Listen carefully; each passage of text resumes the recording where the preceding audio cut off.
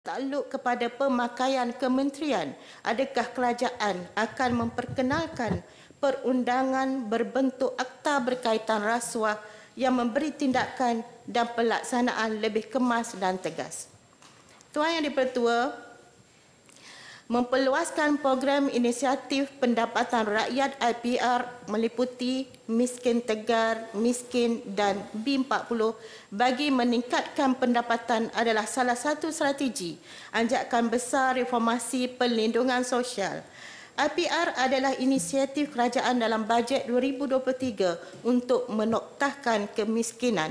Ini membawa kepada persoalan saya adakah program yang telah dilaksanakan di Kelantan dan berapa ramai yang telah mendapat manfaat dan berjaya keluar dari miskin tegar. Tuan Yang Dipertua, Malaysia memiliki sumber unsur nadi bumi bukan radioaktif yang dianggarkan berjumlah 16.1 juta tan dengan nilai pasaran sebanyak 809.6 bilion. Kajian Jabatan Mineral dan Geoscience Malaysia JMG mendapati sumber REE negara terdapat di 10 negeri iaitu Johor, Kedah, Kelantan, Melaka, Negeri Sembilan Pahang, Perak, Sarawak, Selangor dan Terengganu. Kelantan dipercayai memiliki sumber mineral dan unsur nadi bumi mencecah RM125 bilion. Kajian lanjut perlu dibuat untuk memastikan bahan nadi bumi ini dapat diuruskan dengan baik kerana ia melibatkan seluruh kawasan hutang di Semenanjung. Bagaimanakah kerajaan menyerancang untuk mengimbangi faedah ekonomi perlombongan unsur nadi bumi dengan kesan alam sekitar jangka panjang ke atas ekosistem hutan dan biodiversiti yang berkaitan sekiranya melibatkan hutan simpan kekal SSK negara. Adakah negara kita sudah mempunyai pakar-pakar yang mencukupi untuk pengurusan bahan ini supaya kita tidak terlalu bergantung kepada pakar dari luar? Apakah terdapat jaminan bahawa dasar larangan ekspor bahan mentah nadir bumi yang bakal dirangka dapat mengelakkan bahan mentah nadir dari dieksploitasi oleh pelbagai pihak memandangkan jenis nadir dan teknologi yang sesuai belum dikenal pasti dan tiada perjanjian atau persetujuan knowledge transfer yang sah daripada pihak pembangunan teknologi sedia ada dari luar. Tuan Yang Dipertua, Apakah bentuk bantuan yang dirancang oleh kerajaan kepada kerajaan negeri Kelantan dalam menguruskan nadi bumi ini supaya dapat menghasilkan pulangan yang menguntungkan kerajaan negeri? Sudah pasti Kelantan tidak mahu kisah royalti petroleum berulang. Tuan Yang Dipertua, penubuhan koridor ekonomi wilayah adalah agenda nasional yang bertujuan untuk memastikan pembangunan sosioekonomi yang seimbang antara wilayah, melonjakkan pembangunan dan merapatkan jurang ekonomi antara bandar dan luar bandar. Wilayah Ekonomi Pantai Timur ECER dilancarkan pada tahun 2007, lebih 15 tahun yang lalu dengan fokus utama kepada pembangunan pelancongan. Di Kelantan, fokus utama adalah pembangunan pelancongan khususnya untuk membangunkan, membangunkan pengkalan kubur menjadi pusat pelancongan sempadan dan juga pusat perdagangan, perdagangan peringkat Asia Tenggara segitiga pertumbuhan Indonesia, Malaysia dan Thailand. Namun sehingga kini masih belum tercapai. Justru itu saya mencadangkan supaya satu semakan semula perlu dibuat dan dibentangkan serta dibuat laporan terbuka yang terperinci mengenai pencapaian dan perlu disampaikan dan dikongsikan bersama. Tuan Yang Dipertua, kajian separuh penggal RMK 12 penegasan ketiga iaitu memacu daya sains sektor dan industri strategik saya ingin menyebut bahawa beberapa, projek yang menjadi keutamaan di Kelantan yang telah dijadikan sebagai wishlist utama di dalam RMK 12 yang masih belum mendapat status kelulusan dari pihak menteri mengenai status permohonan ini iaitu pertama menaik taraf jalan FT 207 Jalan Pasir Mas Salor dari simpang Batu Empat di Kota Baru, di, di Kota Baru sehinggalah simpang Salo di Pasir Mas Kelantan. Yang kedua, menaik taraf laluan D110 dari laluan Tiong ke Pasir Tumbuh Kota Baru Kelantan. Dan yang ketiga, pembinaan jalan dalaman utama pembangunan Bandar Baru Tunjung Kota Baru. Projek ini amat penting dan perlu disegerakan dan seiring dengan pembinaan kompleks gunasama persekutuan di Tunjung. Implikasi jika tidak dilaksanakan projek ini akan mengakibatkan kesesakan yang melampau di Tunjung dan di Kota Baru yang dianggarkan lebih 3,000 kenderaan dalam satu masa akan terlibat dalam kesesakan lalu lintas. Di samping itu juga pihak kerajaan negeri juga telah menyenaraikan projek pembinaan kompleks maritim negeri Kelantan di sekitar Muara Tok Bali, jajahan Pasir Putih yang bernilai 400 juta sebagai meningkatkan keselamatan perairan pantai dan projek pembinaan dua benteng pemecah ombak sepanjang 3 km di setiap satu di Tok Bali menjadi wishlist keutamaan negeri. Tuan Yang Dipertua, dalam pembentangan KSP RMK 12 ada menyebut tentang pembangunan ekonomi rentas sempadan dan kerajaan telah meluluskan peruntukan berjumlah RM1.1 bilion untuk tempoh 2023 hingga 2025. Justru saya mohon perincian daripada pihak kerajaan mengenai peruntukan ini dan berapakah peruntukan yang telah diluluskan untuk pembangunan ekonomi rentas sempadan di Kelantan. Saya juga ingin mencadangkan kepada pihak kerajaan untuk memberi keutamaan sepenuhnya kepada pembangunan di Kelantan yang melibatkan seperti berikut. Yang pertama, projek sempadan utara Semenanjung, cadangan pembangunan bandar sempadan antarabangsa bagi pembangunan Geting Integrated Tourism Zone di Pantai Geting, Jajahan Tumpat, Kelantan. Yang kedua, projek sempadan utara Semenanjung ECR kerja-kerja menaik taraf kemudahan awam dan infrastruktur bandar sempadan rantau panjang dan Pasir Mas dan Pasir Mas Kelantan. Yang ketiga, naik taraf kompleks ICQS di Rantau Panjang, Pengkalang Kubur dan juga Bukit Bunga kerana kompleks ini memberikan imej kepada sesebuah negara dan perlu diberi penumpuan dari segi aspek prasarana dan juga keselamatan. Yang keempat, pembinaan jambatan takbai yang sepatutnya telah dijalankan dan kelima pembinaan laluan kereta api melalui rantau panjang dan memasuki negara sempadan. Dengan pembinaan ini akan menjadi pemangkin kepada perekonomian setempat di samping mengambil berat dari aspek keselamatan.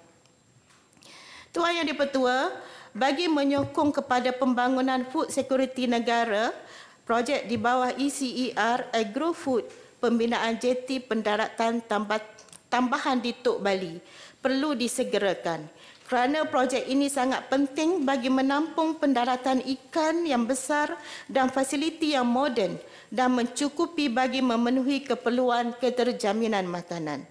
Tuan Yang Dipertua, terdapat beberapa projek yang telah disenaraikan dalam RMK12 yang perlu diberi keutamaan juga di Bacok, eh, tempat saya sendiri itu Yang Dipertua.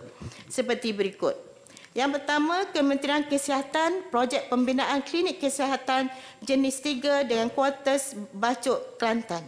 Yang kedua, Kementerian Desa dan Wilayah, projek pembinaan jalan dan jambatan dari Kampung Pantai Senok ke Kampung Pulau, Pulau Gajah, Bacok, Kelantan. Yang ketiga, Kementerian Desa dan Wilayah, projek naik taraf Jalan Bukit Marak Berkelam ke, ke Pengkalan Cina, Bacok, Kelantan. Keempat, juga di bawah Kementerian Desa dan Wilayah, projek mengganti, menggantikan jabatan dari Kampung Bukit Temalong ke Kampung Mahligai Bacuk, Kelantan. Projek menaik taraf jalan dari Kampung Pantai Senok ke Simpang Tiga Tawang Bacuk, Kelantan. Dan yang terakhir, projek Daif Kementerian Pendidikan, uh, projek Daif Kelantan, pembinaan semula bangunan Daif di Sekolah Menengah Kebangsaan Bacuk, Bacuk, Kelantan. Tuan Yang Dipertua, Menambah baik perkhidmatan penjagaan kesihatan adalah strategi yang perlu dilaksanakan secara holistik untuk membangunkan masyarakat inklusif yang lebih berdaya tahan. Kerajaan perlu mengambil kira semua aspek penjagaan kesihatan, fizikal, mental, penyakit berjangkit dan juga penyakit tidak berjangkit. Apakah persediaan kerajaan dalam menghadapi penyakit berjangkit ataupun wabak baru dan bagaimana bagaimana kerajaan berusaha untuk mencegah penyakit tidak berjangkit? Merokok merupakan faktor penyebab kepada pelbagai penyakit tidak berjangkit atau penyakit kronik. Sejauh, sejauh mana komitmen kerajaan untuk membawa RUU kawalan produk merokok atau RUU generasi penamat kembali ke parlimen untuk dibahas dan diluluskan. Tuan Yang Dipertua, tinjauan mendapati jumlah perokok di Malaysia ialah seramai seramai 5 juta orang perokok dan 1.5 juta orang penghisap web. Manakala saringan menerusi program kesihatan oral tanpa asap rokok kotak, tahun lalu mendapati 43,000 orang pelajar dan 341 orang murid terjebak dengan rokok. Soalan saya, sejauh manakah program kotak, program I am free dan program 5 minit anti rokok atau WIP berjaya mengurangkan prevalence merokok dalam kalangan murid-murid sekolah rendah dan menengah. Skim perubatan madani yang diberikan kepada penerima sumbangan tunai rahmah oleh Kementerian Kesihatan Malaysia bertujuan untuk menampung keperluan kesihatan golongan B40 terhadap penjagaan kesihatan prima akut, rawatan pesakit luar kes-kes akut, penerima sumbangan tunai rahmah dan tanggungan boleh mendapatkan rawatan secara percuma di klinik perubatan swasta yang berdaftar yang berdaftar di bawah skim perubatan madani. Kita sedia maklum Kelantan merupakan antara penduduk berpendapatan isi rumah yang terendah dengan purata pendapatan isi rumah RM4,320. Setakat ini, skim skim perubatan madani ini hanya dirasai rakyat di daerah tertentu iaitu di Kota Baru dan Pasir Mas sahaja iaitu di kawasan bandar di mana kemudahan sudah ada dan mudah didapati. Bilakah skim ini akan diperluaskan kepada penduduk luar bandar yang sukar untuk mendapat akses ke klinik kesihatan kerajaan? Tuan Yang Dipertua, kerajaan juga telah memperuntukkan pelaburan besar untuk pembelajaran TWET di Malaysia dengan situasi Malaysia yang memerlukan pembangunan bakat yang komprehensif bagi menampung pembinaan bagi menampung permintaan yang semakin meningkat contohnya dalam industri elektrik dan elektronik. Kita juga melihat berbondong-bondong anak muda yang mencempuri ekonomi gig, meninggalkan dunia pendidikan. Ditambah dengan pelaksanaan gaji minima RM1,500 menyebabkan ramai anak muda lebih berminat untuk bekerja dari menyambung pelajaran. Soalan saya, apakah faktor yang menyumbang kepada jumlah pelajar TWET di negara yang masih rendah? Berapakah jumlah enrolment bagi program TWET di peringkat sekolah menengah atas? Apakah faktor yang menyebabkan kerajaan gagal menarik minat pelajar-pelajar untuk meneruskan pengajian dalam bidang TWET? Tuan Yang Dipertua, Malaysia sedang menua dan akan menjadi negara tua. Apakah plan perancangan kerajaan dalam menghadapi situasi ini, terutama dalam sektor kesihatan dan kebajikan warga emas? Bagaimana kerajaan boleh memastikan warga Malaysia menua dengan sihat tanpa membebankan kerajaan dengan pelbagai penyakit kronik? Apakah kewujudan pusat aktiviti warga emas ataupun PAWE dapat mencapai objektif sebenar penubuhannya. Berapa buah pawai yang digunakan secara aktif di Malaysia? Apakah halangan yang menyebabkan pawai tidak berfungsi sebagaimana yang diharapkan? Dan apakah perancangan kerajaan dalam memastikan pusat warga emas ini digunakan dengan sepenuhnya sebagai pusat pengajaran dan pembangunan sasiah warga emas secara inklusif? Tuan Yang Dipertua, untuk akhirnya saya ingin menarik perhatian kerajaan untuk melihat semula kepada cadangan penggunaan mata wang mata wang ASEAN untuk tujuan perdagangan yang telah dipersetujui oleh pemimpin ASEAN dalam pada sidang ASEAN pertama tahun ini di Labuan Bajo.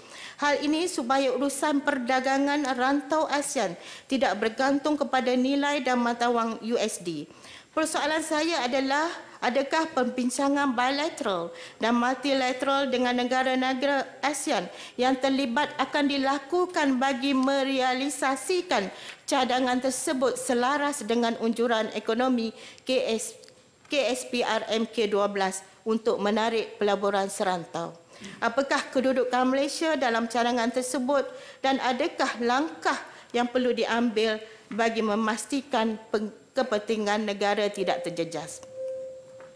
Tuan Yang Dipertua, dengan itu sekian terima kasih saya mohon menyokong. Terima kasih Ibu Doktor kerana mendapati masa. Sekarang ini saya ingin menjemput OIB Datin Hajah Ros Suryati binti Alang untuk berbahas.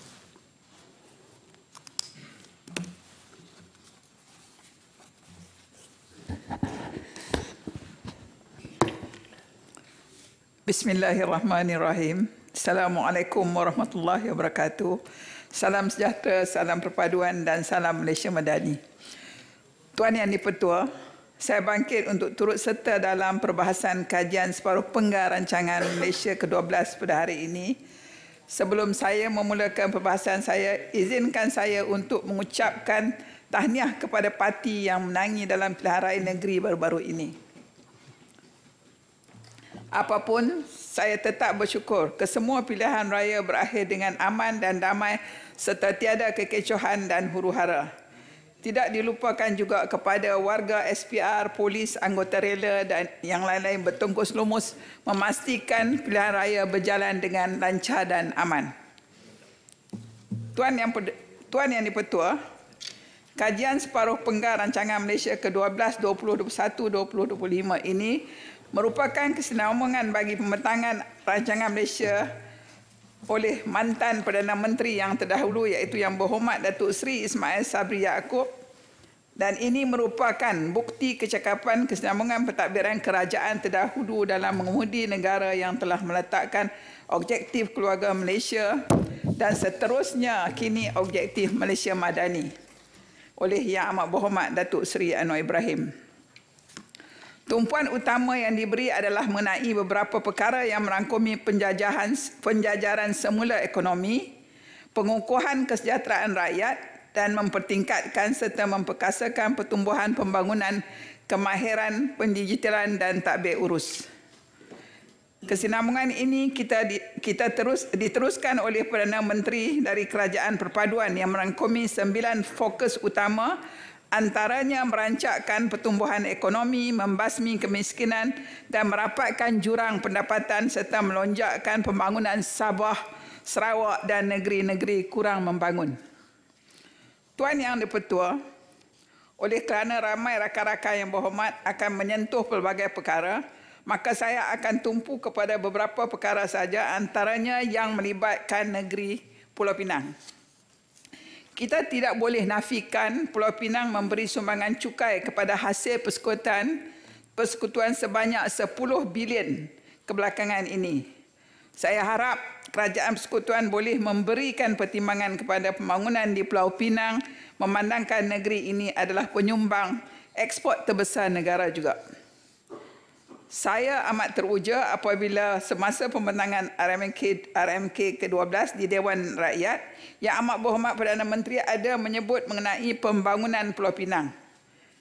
Bagi mewakili uh, penduduk Pulau Pinang, saya amat gembira apabila Yang Amat Berhormat mengumumkan beberapa inisiatif antara lain iaitu menaik taraf lapangan terbang antarabangsa Pulau Pinang dan LRT Pulau Pinang.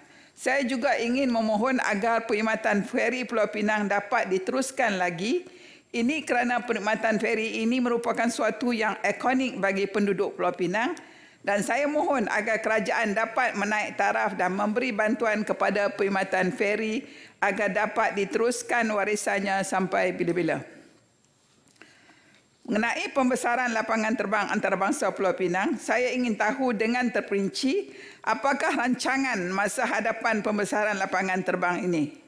Adakah kerajaan akan meluaskan landasan bagi kapal terbang mendarat dan juga menaikkan taraf terminal utama? Selain itu, adakah terdapat rancangan daripada kerajaan bagi menjadikan lapangan terbang antarabangsa Pulau Pinang ini membolehkan penerbangan terus ke Madinah dan Mekah, ke Madinah dan Jeddah bagi memudahkan dan memendekkan urusan umrah dan haji. Seterusnya, saya ingin bertanya, adakah jaminan kerajaan terhadap pelaksanaan projek penaik tarafan lapangan terbang antarabangsa ini tidak memberi kesan kepada kawasan penempatan di sekitarnya ini kerana terdapat penduduk yang agak padat dan juga kawasan kilang yang agak besar di sekitar bayar lepas. Dengan ini, peningkatan jumlah penumpang di lapangan terbang bayar lepas akan mencecah 20 juta setahun. Ianya pasti akan mengundang kepada penambahan kemasukan lebih banyak kenderaan ke pulau. Pada masa ini pun, rakyat Pulau Pinang berhadapan dengan kesesakan lalu lintas yang luar biasa bermula dari Seberang Jaya, Jambatan Pulau Pinang dan sekitarnya. Maka adakah kerajaan akan membuat rancangan pembangunan lebuh raya di Seberang Jaya dan kawasan di sekitarnya? Saya juga ingin tahu mengenai plan laluan LRT yang akan menghubungkan antara Komta ke Jelutung terus ke lapangan terbang Bayi Lepas dan akhirnya berakhir di pulau yang akan ditambak di selatan Pulau Pinang dan apakah rancangan masa hadapan mengenai projek tambakan laut di Pulau Pinang? Tuan Yang Dipertua, seterusnya saya ingin merujuk kepada Kementerian Pertanian dan Keterjaminan Makanan. High Growth, High Value, HGHV, Pertanian dengan izin dan Industri Asas Tani. Kerajaan perlu memberi tumpuan untuk memperkukuhkan kemampanan dengan melonjakkan pertumbuhan ekonomi dengan memberikan tumpuan industri high growth, high value, apa yang berlaku sekarang ini adalah kenaikan harga bahan mentah yang meningkat dengan mendadak. Bahan-bahan mentah pertanian yang diimport kini menjadi lebih mahal dan ini menyebabkan berlakunya kenaikan harga pada setiap masa. Ini tambahan pula dengan ada pihak yang menangguk di air keruh yang mengambil kesempatan di atas keperit, keperitan rakyat biasa demi untuk mengaut keuntungan berlipat ganda. Saya melihat kuantiti input pertanian tidak selari dengan kadar yang yang menasabah. Banyak bahan asas mengalami kenaikan harga yang mendadak ini termasuk baja, racun, kos pengangkutan, kos peralatan pertanian dan kos buruh juga meningkat. Saya ingin juga bertanya kepada Kementerian Perdagangan Dalam Negeri dan Kos Sara Hidup mengenai harga beras yang di luar kawalan ini. Apakah rancangan masa hadapan mengenai kemelut yang kita hadapi ini? Antaranya harga bahan asas makanan dan juga harga beras. Sejauh manakah kita harus bergantung lagi kepada import bahan asas seperti beras import dari luar negara?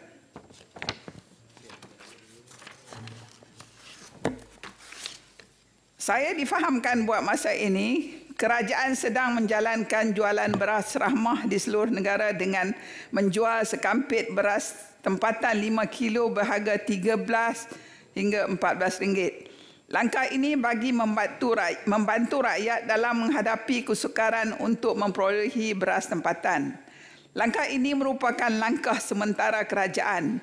Namun, adakah kerajaan berupaya dengan meneruskan langkah ini sehingga harga beras stabil? Dan kita juga akui bahawa krisis beras tempatan ini adalah tindakan pihak tertentu dengan memberi pelbagai alasan demi untuk menaikkan dan monopoli beras tempatan dan beras import. Maka saya ingin mencadangkan kepada kerajaan agar meminda akta sedia ada dan memberi punca kuasa kepada KPDN bagi memantau mengawal harga beras di peringkat runcit serta diluaskan penguatkuasaan juga di peringkat pemborong. Ini kerana masalah ini adalah di pihak pemborong yang mengawal beras import seterusnya mengawal harga mengikut kehendak mereka sendiri. Saya juga ingin mencadangkan kepada kerajaan agar dapat menyalurkan subsidi bagi pemborong beras tempatan agar dapat memulihkan harga beras tempatan yang agak kritikal sekarang ini. Saya juga ingin mencadangkan agar kementerian melakukan pemantauan dan penguatkuasaan harga dengan lebih kerap bagi memastikan harga tidak dimonopoli oleh pembekal atau kata-kata besar dalam industri. Kerajaan juga harus mencari jalan agar bahan asas tani dapat dikeluarkan di dalam negara ini dengan mengoptimumkan kawasan tanah yang sesuai untuk dijalankan aktiviti pertanian. Tuan yang dipertua, saya juga ingin mengajukan soalan kepada Kementerian Pengajian Tinggi.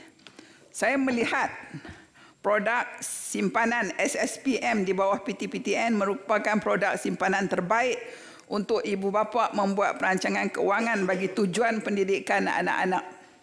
Ini kerana terdapat pelbagai keistimewaan dan manfaat diberi kepada pendeposit iaitu ibu bapa.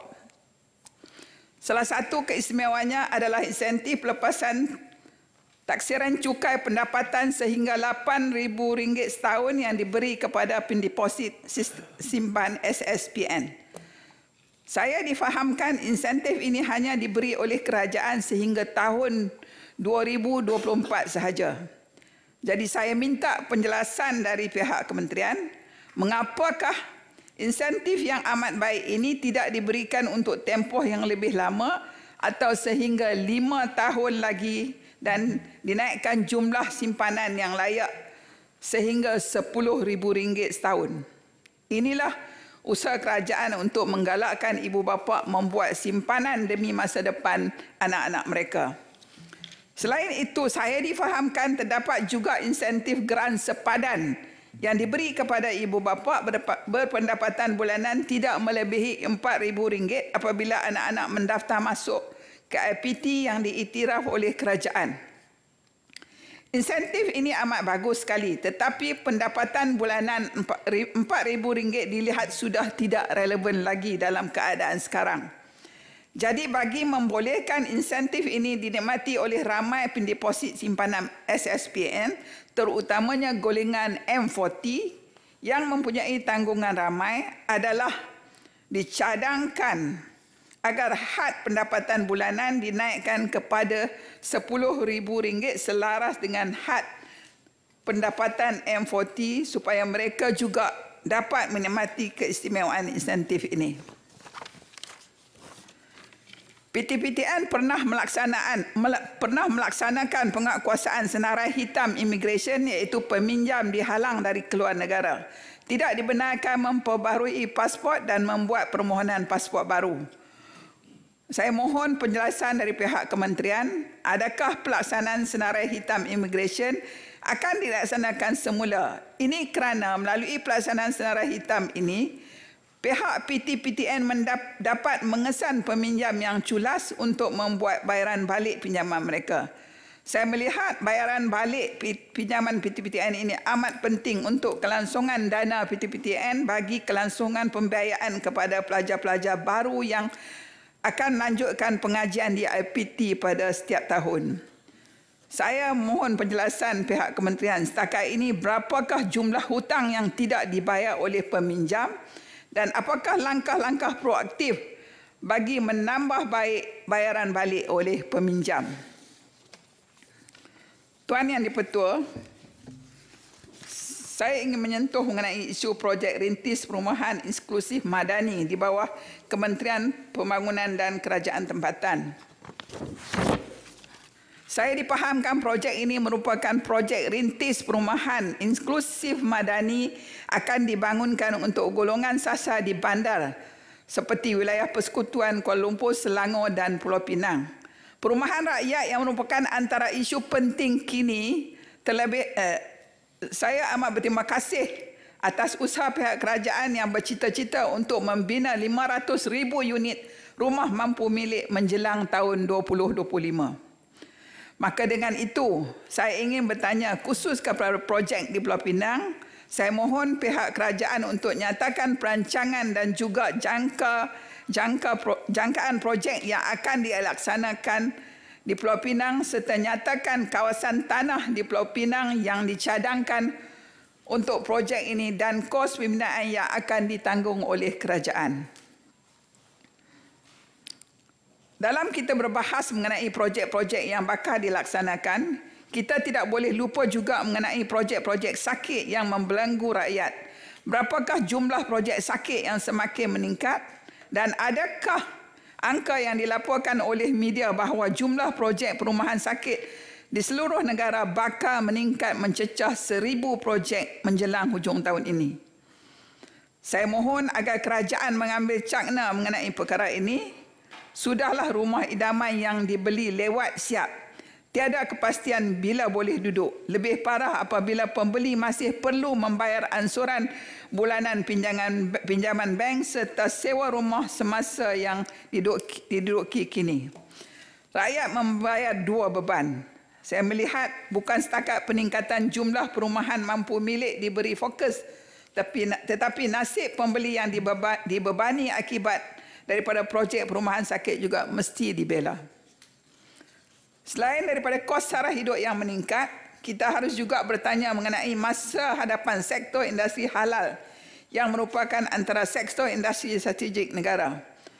Potensi industri halal negara boleh mencapai nilai sehingga 63.1 bilion ringgit pada tahun 2025. Maka soalan saya, berapa lamakah tempoh kajian dan pelaksanaan untuk kerajaan membawa akta halal untuk kita membantu dan menaikkan taraf industri halal Malaysia di mata dunia. Tuan Yang Dipertua, pada masa yang sama saya juga mengalu-alukan pendekatan kerajaan dalam memantapkan lagi perkhidmatan kesihatan di negara, di negara kita. Saya ingin mengambil kesempatan ini untuk memohon supaya pihak Kementerian Kesihatan memberikan perhatian yang serius terhadap kekurangan peralatan-peralatan kesihatan di semua hospital-hospital kerajaan khasnya di negeri Pulau, Pulau Pinang terutamanya Hospital Besar Pulau Pinang. Saya ingin bertanya kepada Kementerian Kesihatan mengenai hala tuju pembangunan perkhidmatan kesihatan terutamanya di Hospital Pulau Pinang. Adakah kementerian mempunyai rancangan untuk beli tanah dan meluaskan lagi Hospital Pulau Pinang dan juga perancangan untuk membina lot parking bertingkat untuk kemudahan awam? Sememangnya ini memerlukan perhatian dan tindakan daripada pihak kerajaan dengan segera. Tuan Yang Dipertua, saya merasa gembira apabila pembentangan RMK 12 ini ada disebut mengenai usaha untuk menoktahkan kemiskinan tegar, menyelesaikan masalah asas prasarana dan keperluan asas rakyat termasuk memperbaiki sekolah dan klinik-klinik daif, menjamin bekalan air bersih serta menarjui ekonomi Islam. Bagi membasmi kemiskinan, kerajaan dalam rangka usaha untuk mencadangkan sistem baharu iaitu pengkalan data utama atau dikenali sebagai PADU. Ini bertujuan antara lain untuk melancarkan pengagihan dan bantuan daripada dapat diberikan dan dapat dipantau dari, dari tahun demi tahun. Cuma ada beberapa perkara yang saya ingin tahu mengenai sistem PADU serta pelaksanaannya. Adakah kementerian mempunyai tarikh untuk melaksanakan sistem padu ini? Dan apakah kaedah akan diguna pakai bagi memastikan bantuan dapat diberi dengan segera dan efisien? Saya berharap agar kerajaan berjaya dapat melaksanakan sistem padu ini kerana niat sebenar kerajaan adalah memberi subsidi bersasar kepada rakyat yang mana sebelum ini subsidi dinikmati oleh semua golongan kaya, warga asing dan peniaga-peniaga besar. Kini golongan yang benar-benar memerlukan akan dibantu. Namun begitu, sebelum kerajaan ingin melaksanakan subsidi bersasar, terutama terhadap subsidi petrol dan subsidi elektrik, kerajaan juga perlu mengambil kira kesannya terhadap golongan M40 serta kesan terhadap perniagaan SME sekiranya subsidi bersasar dilaksanakan.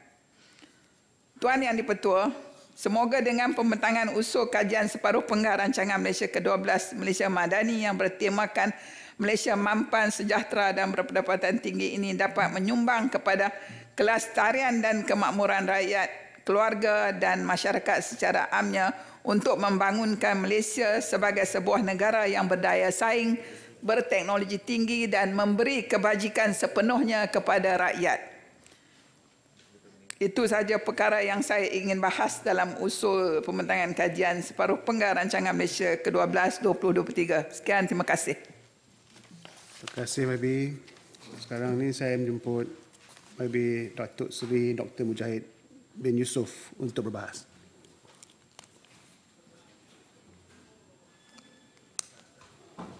Pakai tie, Mabi? Tuan Speaker, oh, saya Pakai ingat tie. ada satu pakai. Saya pakai tie. Saya sebenarnya konservatif. Saya lebih suka pakai tie. Tuan Speaker, terima kasih. Uh, saya mulakan perbahasan saya dan uh, saya ingin menyambut seruan Tuan Speaker tentang uh, tanggungjawab kita sebagai ahli Dewan Negara. Dan kita tahu ahli Dewan Negara ini kadang-kadang kita pun komplain dalam grup kononnya kita ni rubber stamp dan sebagainya. Tapi saya ingin memetik dalam uh, buku yang terkini ada di meja tuan-tuan iaitu Journal of the Malaysian Parliament di mana dalam buku ini uh, salah satu artikel yang menarik ialah Reforming the Dewan Negara Its Evolution and Options for Reform dengan izin. Saya mengambil dan memetik uh, muka surat 13 yang menyatakan bahawa ideally the Dewan Negara is to act as a filter for legislation and is also intended to be another opportunity to hold the government to account in keeping with Parliament's role as check and balance on the executive. Satu yang lebih menarik di sini disebut bahawasanya Dewan Negara further represents an opportunity to ensure greater detail on policy are not overlooked or lost in the political machination, machinations, kalau betul saya punya sebutan itu. Tuan Speaker, ini membuka saya kepada satu ruang di mana kita harus memberi harapan kepada rakyat di luar sana bahawa uh, Dewan Negara ini tetap kekal sebagai Dewan Mulia di mana kita membahaskan perkara-perkara secara beradab, bersopan, walaupun kita dilantik daripada berbagai parti, tetapi kita harus menghormati uh, Dewan Negara ini dan tidak mengulang apa yang kita dengar di Dewan Rakyat. Sudi apa kiranya Tuan Speaker mendengar sambil duduk bersenang lenang. Jiran kita hingar-bingar. Jadilah kita dewan yang tenang. Itu saya punya mukadimah. Jadi i- izinkan saya untuk menyentuh dalam uh, ucapan RMK separuh penggal ini. Saya hanya nak fokus kepada uh, technicality bagaimana menjayakan uh, Malaysia yang lebih mampan dan sejahtera itu. Saya akan tumpu kepada uh, keperluan kita untuk menstrukturkan SDG, ESG dan SRI. Kalau kita pasan tadi ucapan menteri tadi uh, banyak menyebut tentang kemampanan yang mana vehicle untuk kita capai kemampanan itu perlu merujuk kepada konsep yang telah diterima pakai iaitu SDG yang ada 17 agenda, ESG, Environmental, Social and Governance, dan SRI iaitu Sustainable Responsible Investment. Jadi izinkan saya untuk memulakan dengan ESG sebab banyak kali diulang tadi saya minta pihak eksekutif menjawab dan memberi keyakinan kepada kita di Dewan Negara untuk melihat uh, kelemahan-kelemahan yang sedia ada dan apa yang perlu kita lakukan untuk mencapai uh, ESG eh, dari segi pentadbirannya, pengurusannya yang lebih baik. Saya merujuk kepada laporan tahun 2022 iaitu Global ESG Monitor. Global ESG Monitor telah uh, meletakkan beberapa kelompangan yang perlu diperbaiki segera oleh kita apabila kita bercakap tentang kemampanan dalam RMK 12 ini iaitu pertama kurangnya perincian laporan ESG. Maknanya di dalam eh, environment social and governance ini dia perlu ada perincian apa yang perlu di di di, di apa dipatuhi secara terperinci tidak ada.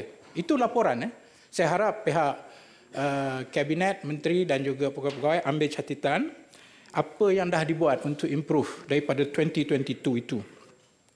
Yang kedua paling utama ialah kurangnya ketelusan bila tidak ada ketulusan segala apa yang kita nak capai dalam pembangunan mampan ataupun lestari ataupun sustainable development ini kita akan berhadapan dengan masalah yang sama akan berulang.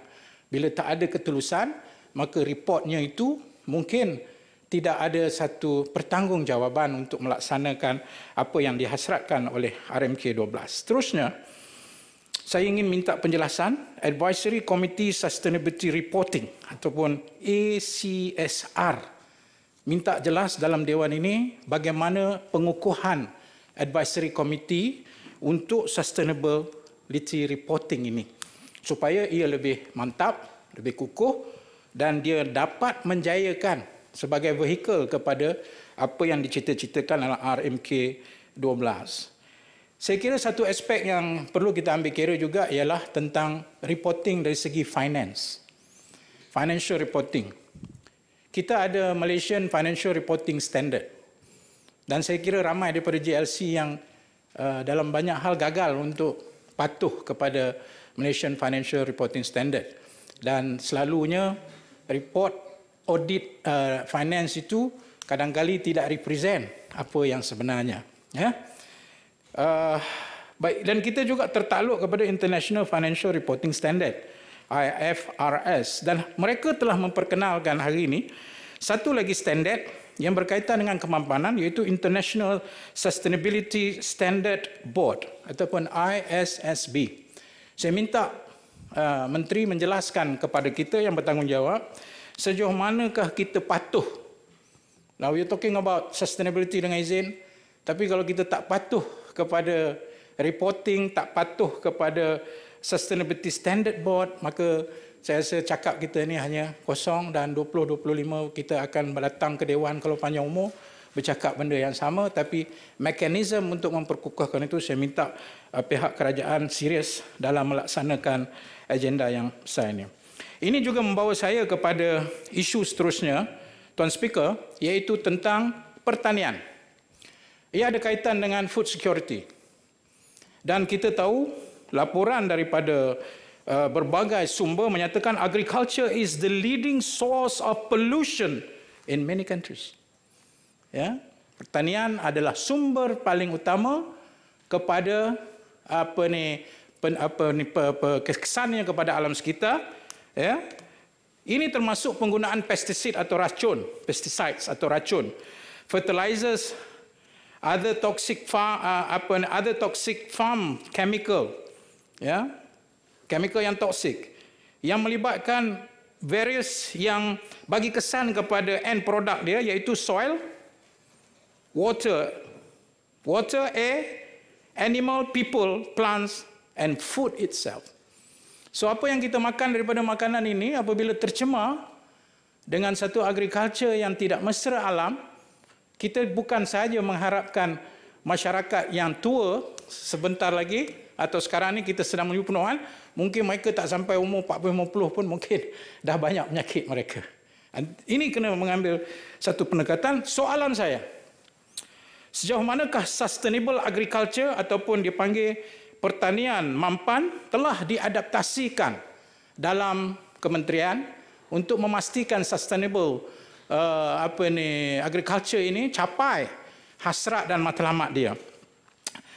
Saya tanpa mendapat maklumat yang lanjut dari bacaan saya, pertemuan saya, kita masih lagi jauh di belakang Tuan Speaker dalam kita melaksanakan polisi sustainable agriculture. Seterusnya ada pendekatan baru yang diperkenalkan dan saya minta bagaimana kerajaan telah bersedia untuk adapt uh, pendekatan itu iaitu dia panggil regenerative agriculture. Regenerative agriculture. Uh, pertanian regenerasi. Ya.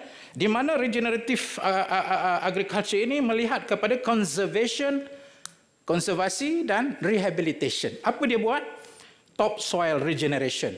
Saya pernah pergi melihat satu tempat di mana ada ada proses yang sangat mudah dan begitu mesra alam di mana tanah itu sendiri boleh kita jadikan sebagai tanah yang betul subur, bersih dan terhindar daripada elemen-elemen toksik yang boleh mencemar bahan-bahan pertanian yang yang ditanam.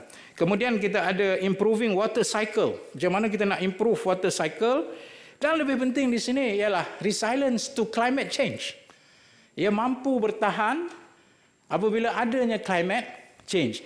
Ini juga membawa saya kepada satu teknologi di dalam pertanian iaitu yang dipanggil precision farming dan vertical agriculture.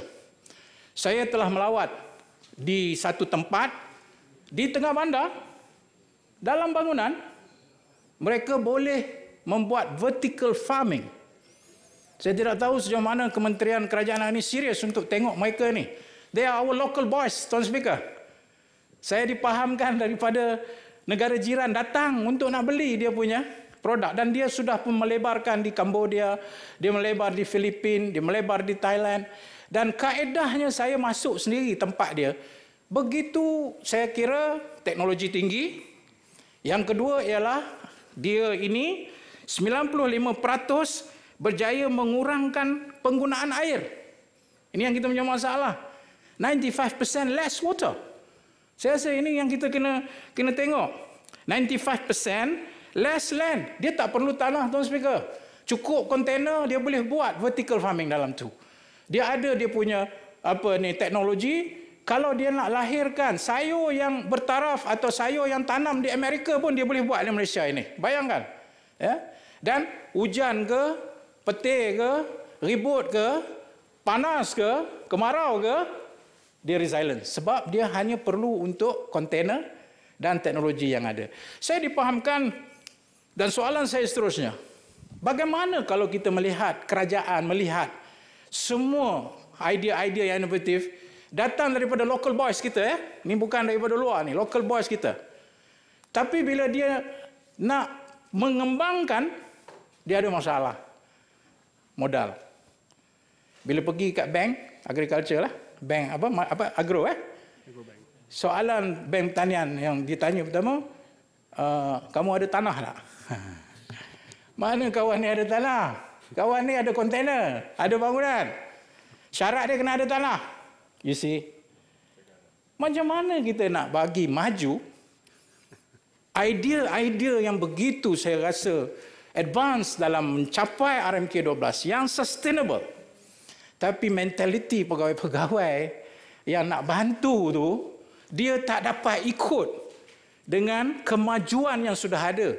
Dan ini menyebabkan satu yang frustration, kecewa. Dan ah, masa inilah orang luar datang bisik kat tinggi dia. Mai dekat tempat aku, aku bagi kat engkau berapa kau nak modal. You see, So take things seriously. Jangan cakap di dewan ini berdegar-degar nak kepada kemampanan tapi pegawai-pegawai tak sampai tahap pemikiran ke, uh, kemampanan sehingga orang yang menjayakan program ini rasa kecewa kerana support system tidak tidak ada. Tolong ambil nota penting untuk kita pastikan kejayaan uh, apa yang dinamakan sebagai uh, agriculture sustainable agriculture. Boleh menjelah sikit. Boleh mencelah ke Tuan Speaker? Belah kiri. Lama tak kena mencelah ni. saya hilang masa saya kalau boleh mencelah dia stop tu saya setujulah. Tak apa, tak apa. Uh, Silakan. Sikit uh, pendek. Saya akan tambah masa. Okay. Satu satu ucapan uh, perbahasan yang amat menarik sekali. Secara intelektual. Berapa markah kita nak bagi tu?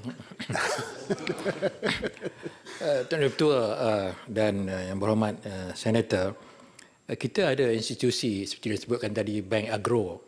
Jadi kalau di situlah uh, tempat uh, di mana berlaku halangan dan kelemahan tersebut, apakah kita mau mencadangkan satu special vehicle ya uh, ditubuhkan oleh kerajaan khusus untuk melihat isu ini? Kerana kalau tidak uh, the whole uh, review yang kita dengar tadi ini akan tersekat kat situ. Jadi apakah YB mau mencadangkan sedemikian? Tuan Senator dia telah membaca pemikiran saya lebih awal uh, kerana kita bersahabat baik pastinya kalau tanya kepada saya soalan Tuan Senator yang mulia itu, saya menyatakan perlu ada fast track Tuan Speaker.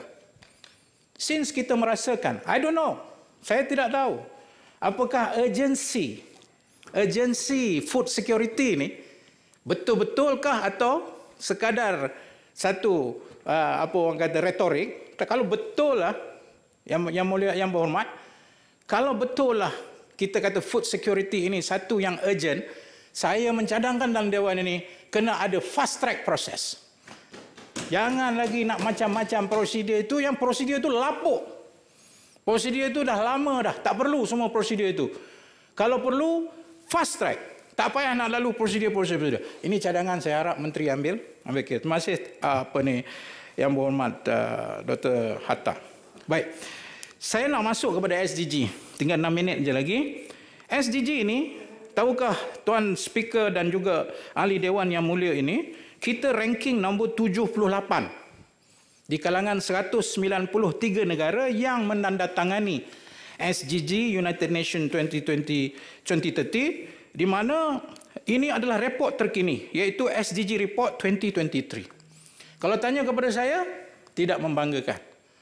Walaupun lebih baik daripada setengah negara tapi 78 daripada 193 bagi saya masih jauh ke belakang sedangkan vehikel kepada RMK12 ini tidak lain tidak bukan kerangka berfikir besarnya adalah SDG Sustainable Development Goals oleh itu saya ingin bertanya dan ingin mencadangkan pada tahun 2015 kita telah memperkenalkan sukuk impak sosial. Sukuk impak sosial. Which has got to do with ESG yang saya sebutkan tadi. Sukuk seterusnya tahun 2017, recently, kita ada memperkenalkan sukuk hijau. Maknanya, sukuk yang mesra alam. Tiba masanya untuk kita bagi mempertegaskan keperluan pembangunan mampan ini, kena memperkenalkan sukuk baru yang ada efek untuk memacu supaya pembangunan mampan ini berjaya. Kalau tanya saya, sebutlah sukuk madani ke, sebutlah sukuk rahmah ke. Bukan murah, rahmah ni orang ingat yang murah-murah aja dah. Rahmah ini compassion. Dan bila compassionate minta maaf. Jadi bila kita bercakap tentang alam sekitar, ini adalah rahmah. Ini adalah mercy. Sebab kita akan mewariskan bumi ini kepada generasi yang akan datang. Kita hanya meminjam daripada mereka. Mereka yang mencemarkan alam sekitar ini merasakan seolah-olah alam ini milik mereka. Sedangkan mereka lupa, mereka hanya meminjam. Tapi esok anak cucu kita nak mewarisi apa yang ada kat dia? Disaster. Dan musibah inilah yang kita harus elak. Dengan polisi yang kuat, mantap dan benar-benar efektif dalam masyarakat kita. Seterusnya, saya mamat menyokong dalam rangka SDG kita ada no poverty tidak ada kemiskinan dan kita menyokong uh, usaha-usaha RMK 12 ini untuk membasmi kemiskinan ini. Tapi di dalam SDG juga kita ada satu lagi komponen daripada 17 itu iaitu masyarakat yang aman, saksama dan inklusif. Soalan saya, bagaimanakah perkembangan roadmap SDG yang telah menetapkan dalam fasa kedua iaitu dari 2021 hingga 2025. Kita ada hanya lagi uh, dua tahun. Tolong bentangkan dekat kami apa report you dalam you punya uh, apa ni dalam uh, kementerian punya roadmap SDG. Dan saya nak uh, guna kesempatan ini untuk mengulang komitmen kerajaan hari ini, kerajaan Madani, kerajaan perpaduan dalam melahirkan masyarakat yang aman, inklusif dan juga setara ataupun yang yang saksama, kita perlu bersama dalam memastikan bahawa ada perundangan untuk kita mendekati isu-isu diskriminasi yang berlaku. Yang kita perlu memperundangkan anti-diskriminasi ataupun anti-discrimination law itu tajuk besar dia. Detail dia itu kita bincang. Tapi we need dengan izin to have an anti-discrimination law sesuai dengan realiti yang ada di Malaysia. Hingga hari ini tidak ada. Yang kedua, Kita perlu ada perundangan anti-hate speech. Anti-hate speech ialah anti ucapan kebencian. Sama ada kebencian itu kebencian kaum. Sama ada kebencian itu kebencian agama. We have to put a stop.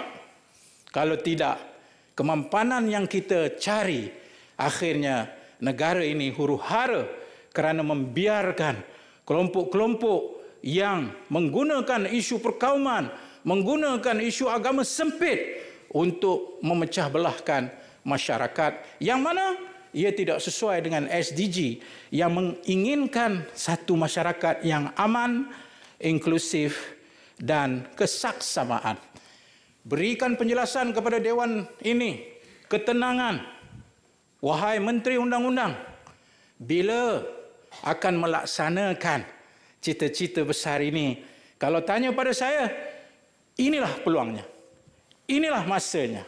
Jangan lagi berdolak dalik kerana untuk kita move forward dengan apa yang diadakan dalam RMK 12, kita perlu perundangan yang tegas untuk memastikan SDG, memastikan keamanan, inklusiviti dan kesamarataan ini tidak lagi menjadi ancaman kepada negara kita.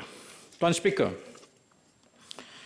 ia membawa saya kepada pengakhiran ucapan saya.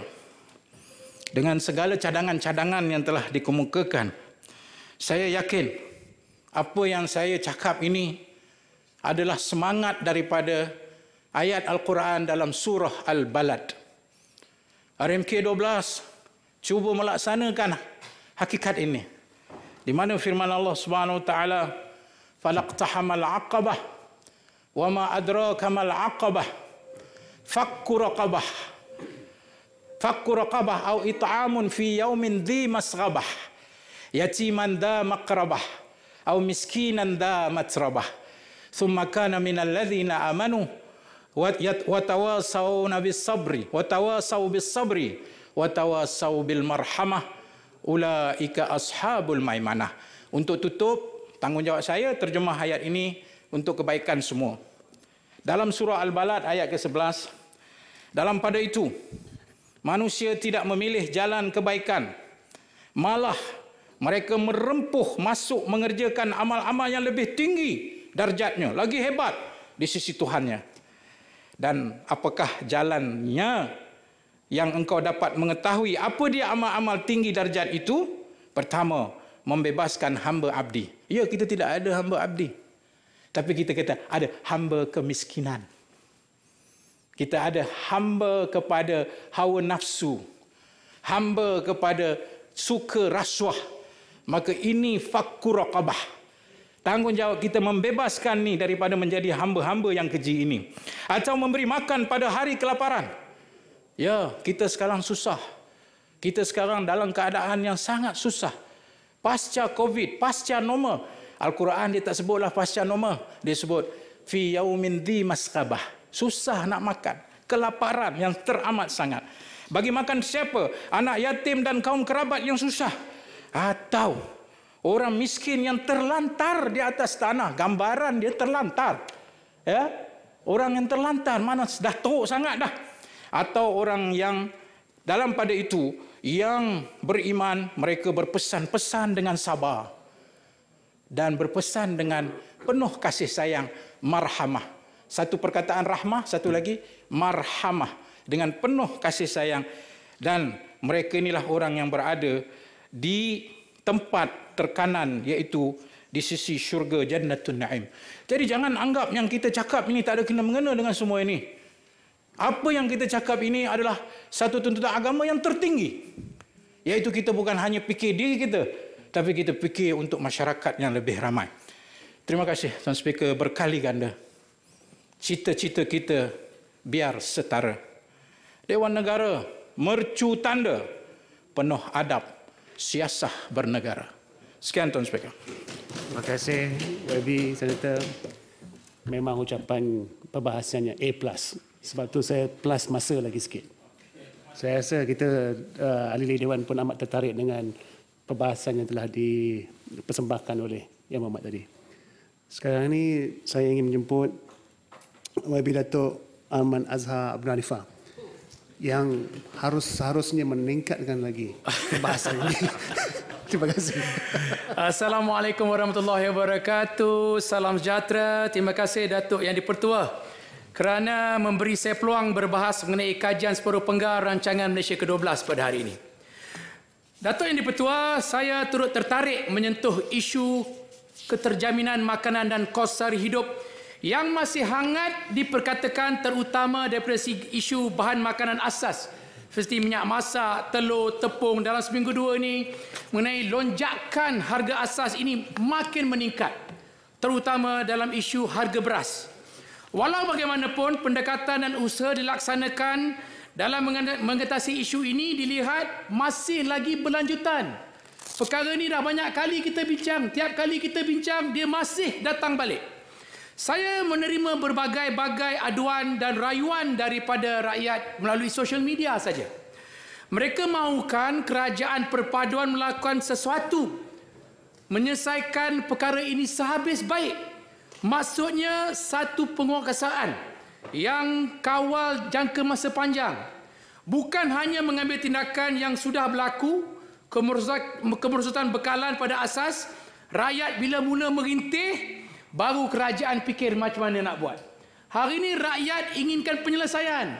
Rakyat mahukan perkara asas ini dicarikan noktah. Bagaimana nak selesaikan isu rakyat, isu kos sari hidup, isu barangan. Ini yang dimainkan oleh rakyat di bawah.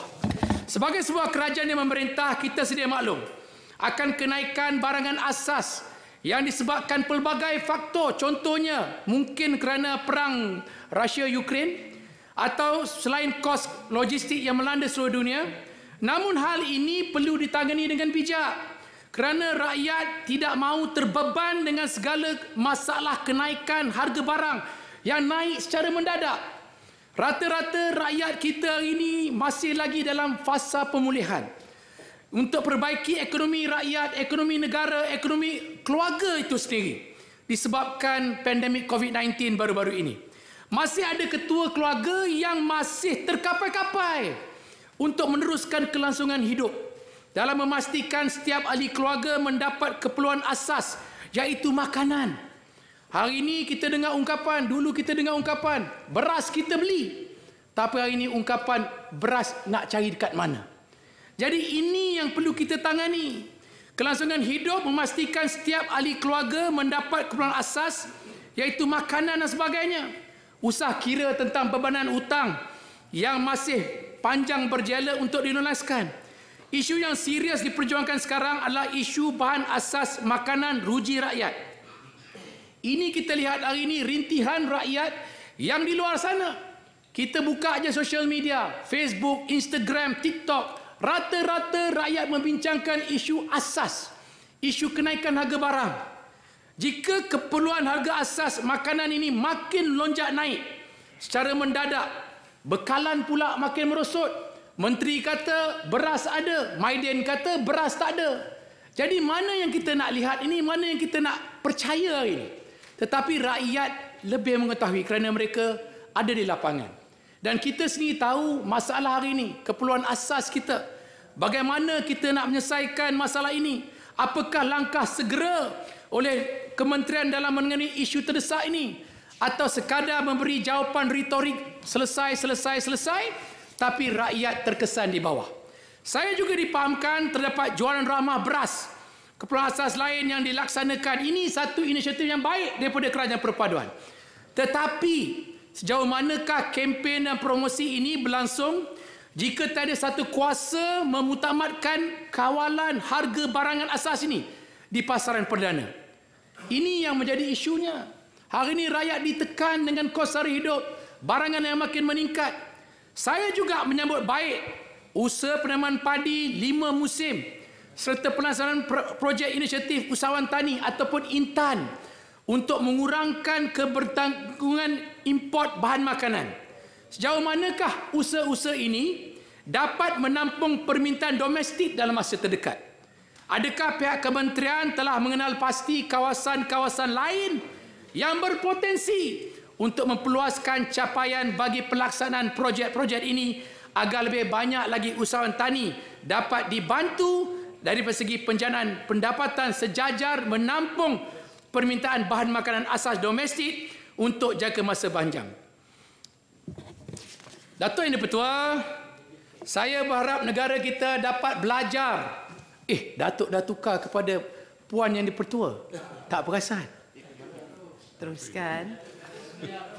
Datuk Seri Yang Dipertua. Tak perasan dah tukar. Will belum sampai lagi. Saya amat berharap negara kita dapat belajar sesuatu daripada negara-negara ASEAN yang dahulunya merupakan negara pengimport makanan asas namun disebabkan kesedaran dan usaha mengurangkan kebergantungan dalam mengimport bahan makanan kini mereka menjadi salah satu negara pengeksport bahan makanan terbesar. Contohnya Vietnam. Dulu Vietnam ni kita lihat negara yang mundur. Hari ini Vietnam mengatasi negara Malaysia daripada segi ekspor bahan makanan asas. Kita perlu belajar pada mereka. Isu rantai makanan ini amat serius kerana faktor kenaikan satu barang akan turut mempengaruhi barang-barang asas yang lain. Besar harapan saya agar kementerian dapat melakukan satu anjakan kebertangan import makanan ini menggunakan teknologi makanan sebagai langkah baru. Kita kena memastikan negara luar melihat Malaysia juga dalam proses mahu ke depan terutama daripada segi food security dan sebagainya. Apakah paras kertajaminan makanan dalam negara ini dalam kedudukan yang selamat? Mampukah kita mengubah posisi Malaysia ini dalam Global Food Security Index ke tangga yang lebih baik? Sedangkan negara Malaysia ini apa yang tak ada? Air ada, kawasan ada, cuaca yang baik. Tapi malangnya kita masih lagi dihantui dengan masalah keperluan barangan asas makanan berkurangan, food security. Ini juga telah kita bahaskan sebelum ini. Banyak kali kita bahas. Tetapi bila selesai sikit, hampir tidak peduli. Dan hari ini kembali masalah sama. Iaitu food security dalam negara kita. Selain itu, jaringan teknologi yang semakin canggih bagi saya mampu menjana pengeluaran hasil makanan yang lebih optimal sejajar dengan peluang pekerjaan yang lebih banyak untuk rakyat sebagai langkah mengatasi pengangguran mengimani kos sehari hidup dengan lebih ideal. Kerana hari ini kita tengok pertanyaan moden ini bukan lagi dilihat sebagai mana yang kita lihat 20 tahun dulu. Hari ini anak muda pun terlibat dalam pertanian moden ini. Dan kerajaan perlu mengambil nilai dan perlu memberi bantuan kepada industri pertanian moden ini. Kita sedia maklum pendekatan yang diambil oleh kerajaan perpaduan ini dalam usaha mengurangkan kos sara hidup rakyat dengan pemberian subsidi bersasar. Namun demikian kita tengok berbilion-bilion ringgit dibelanja dalam usaha mengenai kos sara hidup terutama untuk rakyat yang tinggal di bandar. Dalam bandar ni ada satu masalah juga kalau kerajaan terlepas pandang iaitu miskin bandar. Miskin bandar ni lagi teruk daripada miskin luar bandar. Kalau di luar bandar tu kalau ada masalah ada juga tempat nak bercucuk tanam.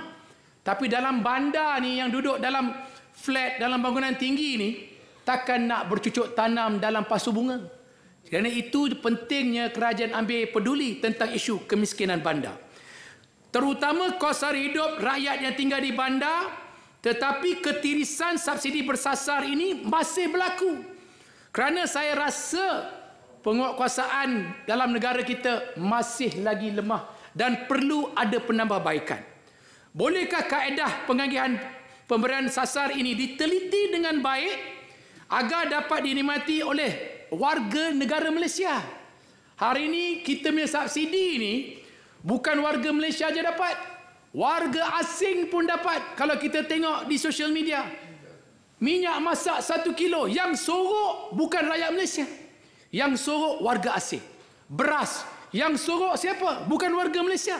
Yang sorok warga asing. Jadi ini yang perlu ada ambil kepedulian iaitu penguatkuasaan yang lebih cekap. Dan kita kena pastikan subsidi ini dinikmati oleh rakyat Malaysia. Bukan warga asing yang sewenang-wenangnya membeli mendapat bahan-bahan bersubsidi seperti minyak masak, petrol, beras dan lain-lain. Ini belum lagi kita ambil peduli tentang bahan subsidi yang diseludup keluar. Saya rasa sudah sampainya masa kita beralih ke kaedah seperti penggunaan aplikasi-aplikasi kupon digital bagi masyarakat yang tinggal di bandar dan sistem kupon fizikal boleh kita buat bagi mereka di kawasan luar bandar. Kita boleh menggunakan aplikasi MySejahtera. Kerana kita dah ada MySejahtera boleh dikatakan dalam dewan ini semua handphone kita mempunyai aplikasi MySejahtera. Jadi kerajaan tak perlu buat aplikasi yang lain. Nak bazir duit rakyat buat apa? Gunakan aplikasi MySejahtera ni untuk pemberian kupon-kupon bersasar. Kupon-kupon kepada masyarakat yang dapat menggunakan rakyat Malaysia ni. Tak perlu kita nak buat sistem yang baru. Guna pakai sistem yang sedia ada. Kita tahu. MySejahtera ni merupakan aplikasi yang mempunyai database terbesar dalam negara kita luar luar bandar dalam bandar gunakan sistem MySejahtera ni untuk diguna pakai bagi subsidi bersasar. Jadi ini dapat mengurangkan ketirisan dalam dalam pentadbiran kerajaan. Dan saya rasa ini salah satu idea yang mudah diguna pakai dan boleh diterjemahkan, dilaksanakan yang lebih cepat macam mana sahabat saya Datuk Seri Mujahid bagi tahu tadi. Now is the time. It's not kita kena tunggu. Now is the time. Hanya isi rumah individu warga negara saja yang layak diberikan kemudahan ini untuk menebus membeli senarai barangan yang subsidi. Dengan cara ini, barangan yang bersubsidi dapat dikawal dengan jauh lebih baik dan ketirisan dapat diatasi. Datuk Seri Yang Dipertua, saya juga ingin menyentuh tentang pelaburan asing. Kita tahu dalam masa ini, Malaysia menjadi rumah kepada beberapa jenama perkhidmatan global Perintah global diklaim sebagai industri strategik adalah menjadi harapan rakyat kita. Kerajaan perpaduan akan merangkakan kebijaksanaan yang menyeluruh, memudahkan cara perniagaan, mewujudkan pekalan data yang menarik pelabur bermutu tinggi, membuka ruang seluas-luasnya kepada syarikat tempatan untuk mendapat khidmat sokongan. Nombor satu bagi saya kurangkan birokrasi.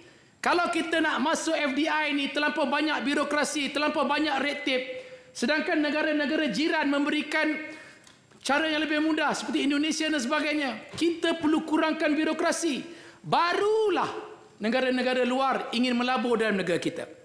Adalah harapan kepada rakyat agar kerajaan perpaduan merangka kebijaksanaan menyeluruh cara perniagaan. Apa yang akan kita berikan kepada syarikat-syarikat luar ini?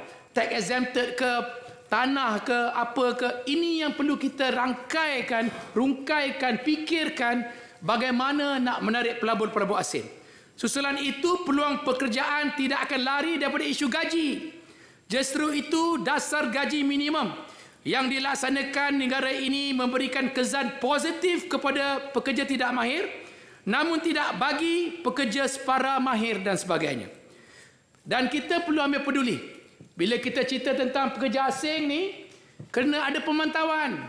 Kita tahu pekerja asing ni penting tetapi jangan sampai mereka mengambil peluang dalam keadaan rakyat sedang tertekan. Terutama hari ini kita tengok mereka datang sebagai pekerja asing, mereka lari, mereka buka perniagaan. Tetapi tidak ada pemantauan, tidak ada pelaksanaan. Apa jadi? Mereka pula mengambil kek ekonomi rakyat Malaysia. Jadi pemantauan daripada pihak kerajaan amat penting apabila kita membuka ruang kepada mereka. Oleh itu apakah strategi merangka dasar progresif gaji Malaysia Madani Tuan Yang Dipertua mau mencelah? Boleh, boleh, boleh. Macam dekat Dewan Rakyat sikit ada mencelah. Sikit Sikit boleh, boleh. Jika dibenarkan. You, you sentuh tempat yang geli. um, Datuk Yang Dipertua, uh, adakah YB bersetuju bahawasanya dalam merangkakan berbagai strategi ini antara matlamatnya ialah untuk menambahkan peluang pekerjaan yang berpendapatan tinggi. Malahan dalam plan uh, RMK 12 ini kita mensasarkan 3.6 juta tak silap saya peluang pekerja yang berpendapatan tinggi. Cuma saya rasa aspek pertamanya ialah kita mesti ada laporan berkala Contohnya hari ini 2023. RMK 12 ini akan tamat 2025. sudah half. What have we achieved? Apa yang telah kita capaikan? Daripada 3.6 juta peluang pekerjaan, sudah berapa kita dapat wujudkan? Dan tinggal berapa lagi? Ini mesti dimonitor and control secara rapi supaya kita boleh tahu kita akan capai matlamat kita.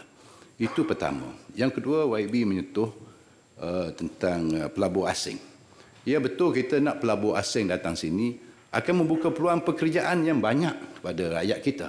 Tetapi kita juga tidak mahu diperhambakan rakyat kita. Hari ini banyak berlaku syarikat-syarikat asing yang datang sini, dia hanya uh, memeras ataupun exploit uh, tenaga kita tanpa memberi peluang untuk kenaikan mara ke organisasi mereka. Malahan CEO jawatan-jawatan besar lokal tak dapat.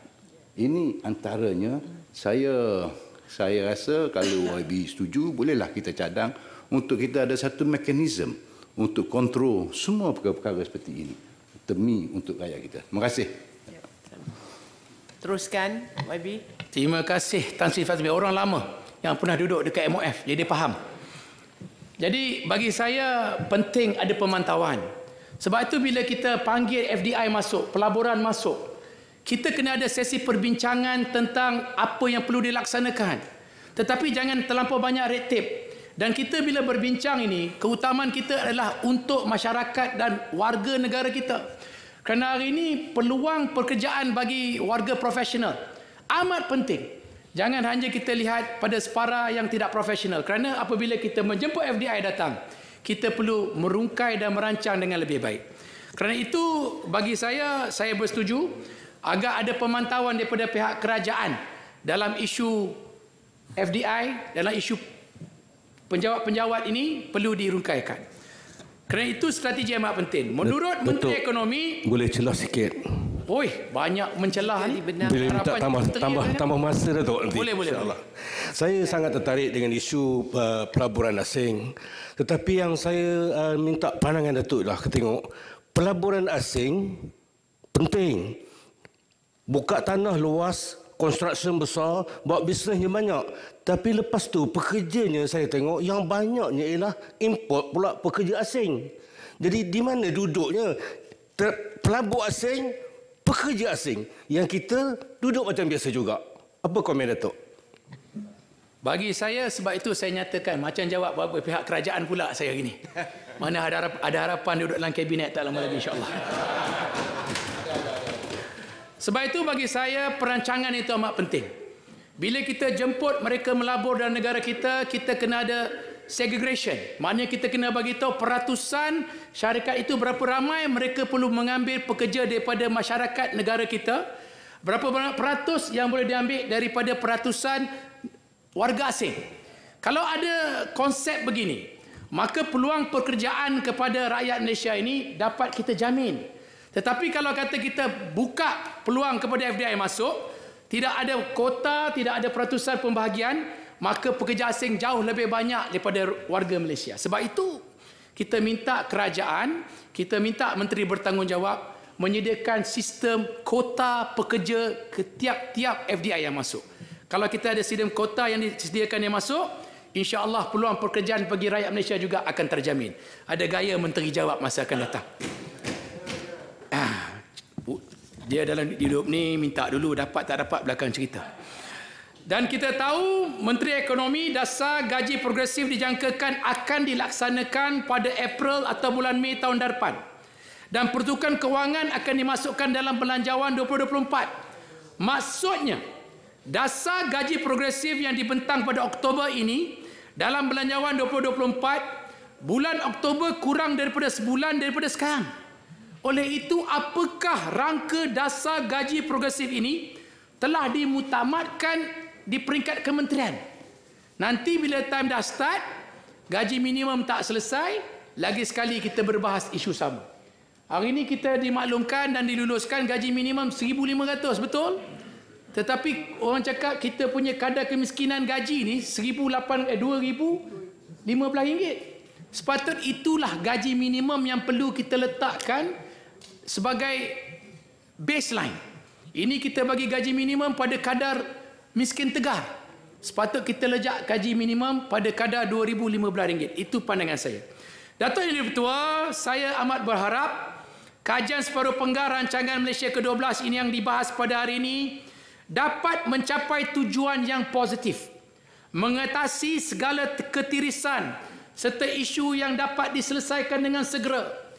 Saya berulang kali nyatakan tanggungjawab kita sebagai seorang senator atau ahli parlimen ini adalah membawa suara rakyat. Kita tidak boleh mengatakan everything in order. Sedangkan kita tahu rakyat di bawah hari ini tertekan dengan kos sara hidup. Saya ulang balik. Tertekan dengan kos sara hidup, barangan keperluan asas. Tetapi jangan kita di pihak kerajaan. Kita bagi tahu jawapan-jawapan retorik beras ada on paper. Tetapi di Maidin supermarket kita tengok semalam. Owner Maidin kata tiada beras tempatan. Kementerian bagi tahu ada. Jadi rakyat sedang melihat apa yang berlaku dan rakyat faham apa yang berlaku. Jadi pentingnya hari ini kita meletakkan keutamaan kita. Kita perlu turun ke akar rumbi, kita kena faham masalah rakyat hari ini. Kita boleh cerita nak beli kapal perang. Kita boleh cerita nak buat highway. Kita boleh cerita tentang pembangunan tetapi perkara asas ini yang perlu kita selesaikan iaitu masalah rakyat hari ini yang terkesan dengan kos sara hidup dan barangan ini. Jadi itu amat penting bagi saya daripada kita memikirkan benda yang complicated ni, yang sukar. Kita selesaikan isu utama dalam negara kita iaitu isu masalah rakyat keperluan asas, the food security. Kalau kata kerajaan madani hari ini boleh selesaikan isu ini, saya yakin kerajaan ini akan terus menjadi kerajaan yang dihormati dan disayangi oleh rakyat. Tetapi kalau kita gagal melihat apa yang berlaku, kerajaan ini akan dihukum pada PRU ke-16 tidak lama lagi. Jadi pentingnya hari ini untuk kita menjadi suara kepada rakyat dan mendengar suara rakyat, menjadi harapan kepada rakyat, menyelesaikan masalah rakyat, iaitu kita kena pastikan kos barangan diturunkan dan juga kos sara hidup dapat distabilkan dan barangan keperluan asas dapat diselesaikan. Dengan demikian, saya sudahi perbahasan saya pada hari ini. Sekian. Wabil taufiq wa hidayah. Assalamualaikum warahmatullahi wabarakatuh. Terima kasih Menteri yang sudi duduk dengar ucapan kita.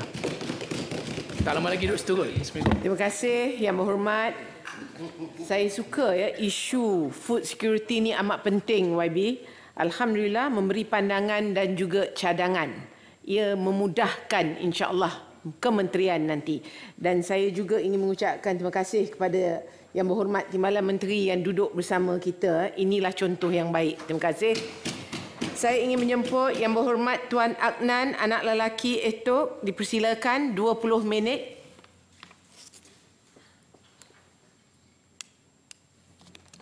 Terima kasih Datuk Yang Tua. Uh, uh, kali ini kita berbincang tentang KSP RMK 12. Dulu pernah saya sempat berbahas tentang masa RMK 12 yang yang mula di di Gubal. Jadi uh, nampaknya ceritanya tak banyak berbeza. Uh, Berpusing-pusing uh, kerana banyak lagi benda yang dirancang uh, sebelum ini belum tercapai. Apapun ia merupakan plan yang baik untuk kita uh, rujuk kerana kalau tak ada plan langsung pun kita terkapai-kapai tak ke mana. Jadi uh, orang kata uh, kalau kita fail to plan, kita plan to fail.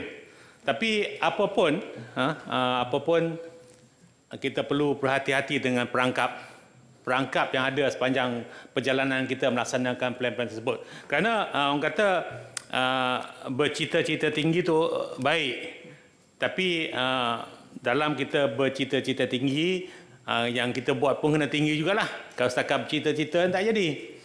Ya. Yang paling-paling yang sangat utama yang kita perlu sebagaimana menteri sebut tadi kita bersyukur kerana kita ada akan ada jangkauan yang memantau. Itulah kunci kepada kejayaan semua plan yang kita buat. Kalau tidak kita akan jadi omong kosong dan setiap kali sidang dewan kita berbahas, bercakap benda yang sama daripada 5-10 tahun lepas sampai sekarang. Uh, untuk tujuan tu saya nak minta apa kementerian uh, dan kerajaan juga perhatikan uh, orang kata apa handbrake. Handbrake kepada perjalanan kita. Salah satu handbrake yang sangat apa orang kata uh, orang kata me, me, memberhentikan kita ialah rasuah. Ya rasuah. Uh, dan rasuah ni banyaklah hasilnya ketirisan dan sebagainya tak perlu cerita panjang saya dah cerita banyak kali dah. Uh, tapi saya rasa kalau kita biarkan ia akan berterusan. Saya cuma nak cadang satu perkara okey?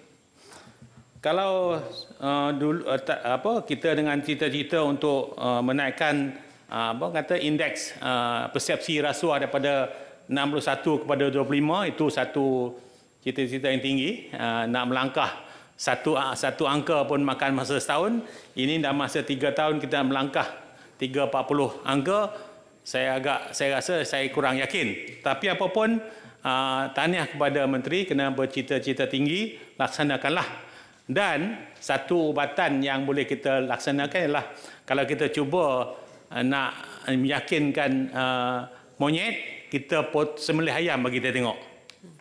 Okay? Orang kata uh, kill the chicken to scare the monkeys dengan izin. Dan kalau kita buat macam tu tak jadi, kita sembelih lah monyet tu sendiri. Kan? Itu satu cara yang kita nak pastikan bahawa rasuah di mana-mana akan terhapus. Kalau tidak, kita tak akan selesai. Kita akan terus bercakap. Uh, begitu juga dengan uh, perkara tentang subsidi bersasar. Uh, tadi ramai kawan-kawan kita dah cakap. Kita, Menteri kata kita tunggu padu, plan apa pengkalan data utama uh, mungkin tahun depan. Uh, saya harap padu ini lebih baik daripada e-kasih.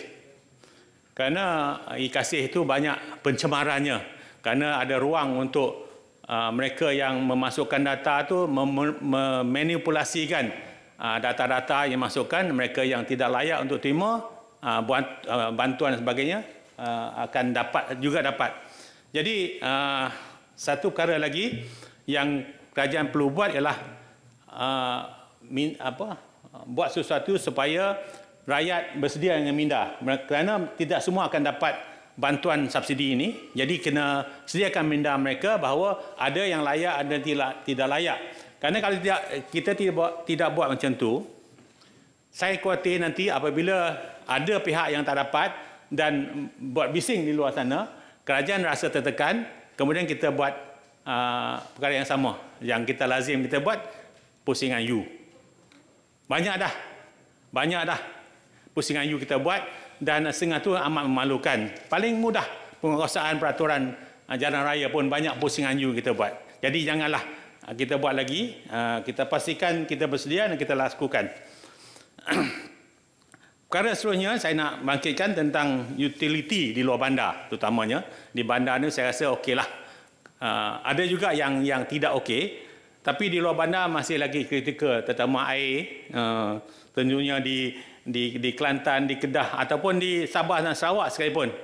Uh, kemudian tentang elektrik, elektrik saya dimaklumkan uh, katanya uh, melalui laporan uh, kita dah mencapai 99% bekalan elektrik 24 jam bagi rakyat seluruh negara. Tapi saya tak pastilah kawan-kawan kita di Sabah Sarawak tu adakah mereka mendapat apa bekalan tersebut sebagaimana yang dilaporkan. Kemudian satu perkara lagi ialah tentang internet. Ini pun kita bincang banyak lebar. Katanya dah mencapai 90%. Tapi yang 10 tu uh, kalau bukan kita okeylah. Tapi cuba bayangkan 10% tu kena kepada keluarga menteri. Saya rasa menteri akan cakap lain. Itulah ukuran yang kita perlu pastikan uh, apa tekankan kepada uh, kerajaan dan juga pegawai-pegawai bahawa ujian yang paling mudah untuk pastikan bahawa kita bekerja dengan uh, tekun dan rajin dan juga ikhlas ialah cuba kita pakai kasut mereka di luar bandar sana. Kalau internet pun tergagap-gagap, air keluar dengan warna merah dan sebagainya, kalau kita sendiri yang merasa, saya rasa kita akan berfikir berbeza. Tapi oleh kerana kita merancang duduk tempat yang selesa, apa yang berlaku di sana, kita tidak beri perhatian sepenuhnya. Saya harap kementerian dapat ambil tindakan. Uh, saya nak tanya menteri kementerian lah tentang air, elektrik dan internet ni. bila dan bagaimana kita nak pastikan negara kita dapat capai 100%. Okay. Saya tak saya tak harapkan esok lusa, tapi ada perancangan bila dan bagaimana nak buat untuk kita mencapai 100% bekalan tersebut. Kerana ini tahun 2025, kita tunggu sampai tahun 3000 untuk dapat 100%. Kan? Okay, terima kasih. Satu perkara lagi tentang ekonomi berasaskan sumber saya nak bangkitkan. Uh, sekarang ni uh, dulu kita cakap tentang pertanian dan sebagainya dengan industri dan sebagainya. Sekarang kita bercakap tentang REE. Kita dah mula ambil pelumbungan dalam masuk dalam ekonomi kita. Tapi saya melihat pertanian lebih mampan berbanding pelumbungan kerana lumbung tu dia akan lama-lama akan habis. Tak tahulah berapa banyak, berapa luas yang kita boleh korek. Tapi pertanian tu lebih lebih, lebih mampan kerana kita boleh tanam, tanam semula dan sebagainya. Uh, tetapi lazimnya di negara kita kita lebih kepada pertanian yang asas. Kita uh, apa ekspor yang uh, sumber saja. Yang yang apa uh, yang asas saja bukan uh, produk yang ni, ni, apa tambah nilai. Jadi kita ambil contoh kelapa sawit yang kita ada. Kebanyakannya kita ekspor dalam bentuk CPO produk nilai tambah tu belum cukup banyak ataupun getah. Saya harap dan saya minta lah kerajaan jangan sahaja uh, memikirkan tentang uh, apa uh, perkara-perkara asas untuk menghasilkan apa produk asas saja. Kita perlu lebih ke depan uh, produk-produk nilai tambah dan juga meningkatkan pendapatan ekspor Soalan saya, apakah tindakan yang kita sedang ambil dan akan ambil untuk memberikan hasil yang lebih baik daripada sebelum ini? Sebelum ini kerana uh, tentang produk nilai tambah uh, apa produk nilai tambah tinggi uh, meningkatkan pendapatan ekspor daripada hasil pertanian ini dah akademik dah lama kita ceritakan. Tapi apakah kita akan yang lebih baik kita akan lakukan untuk tahun-tahun uh, yang, yang akan datang Uh, tadi kita sebut, apa kawan-kawan kita sebut juga tentang keterjaminan makanan. Saya terbaca juga dalam laporan uh, tentang sawah berskala besar dan juga kita pernah dengar beberapa kali beberapa beberapa orang menteri pertanian sebut tentang ini dan dalam laporan pun ada di Sabah uh, apa di pernah disebutkan tentang 200,000 hektar untuk sawah skala besar yang terbaru di Sabah dan Sarawak diumumkan tentang 50 ribu hektar dan tadi apa uh, menteri pun sebut tentang 3 bilion di di Kedah untuk apa pertanian berskala besar untuk menghasilkan padi.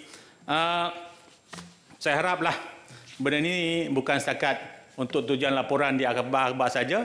Kita nak tengok realitinya. Apakah berapa banyakkah biji bekas yang dihasilkan daripada projek ini. Kerana itulah yang dicari-cari rakyat sekarang. Dan kita tak maulah benda ini berulang uh, di tahun-tahun hadapan.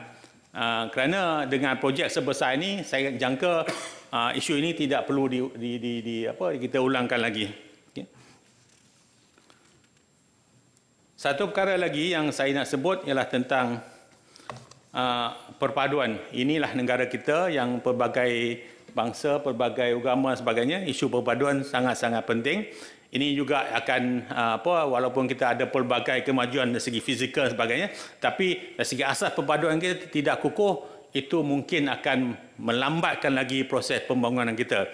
Jadi kalau perpaduan uh, kita bercakap tentang perpaduan ini, kita bercakap tentang perpaduan antara bangsa, antara wilayah dan juga antara darjat jadi uh, saya rasa banyak perkara-perkara yang kita sedang lakukan yang uh, orang kata dengan izin go against hasrat kita untuk menjadi negara yang cukup bersatu padu.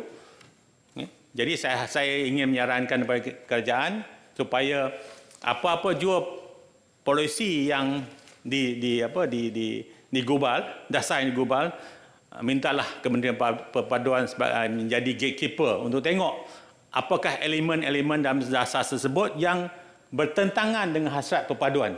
Ini salah satu cara untuk kita pastikan bahawa kita tidak terbabas daripada hasrat kita untuk menghasilkan negara yang bersatu padu. Kalau tidak, uh, sambil ke Kementerian Perpaduan menyatakan tentang perpaduan-perpaduan tapi dasar-dasar lain tidak ke arah itu. Jadi kita uh, sesama sendiri yang yang bertentangan. Cakap lain, buatnya lain. Jadi sampai bila kita nak selesaikan masalah. Jadi saya nak cadangkan okay, uh, supaya uh, tadi menteri sebut tentang uh, pelbagai agensi yang uh, apa yang di, yang ditubuhkan sedia ada untuk membantu Bumi Putera untuk menyelesaikan pelbagai masalah ke kemiskinan dan sebagainya. Mengapa kita perlu beza-bezakan rakyat kita?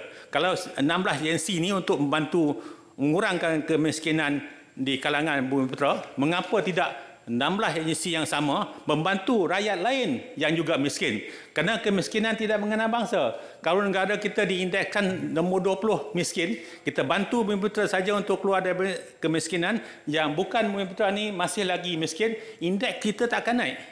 Jadi kalau nak naik, kita sama-sama rakyat Malaysia.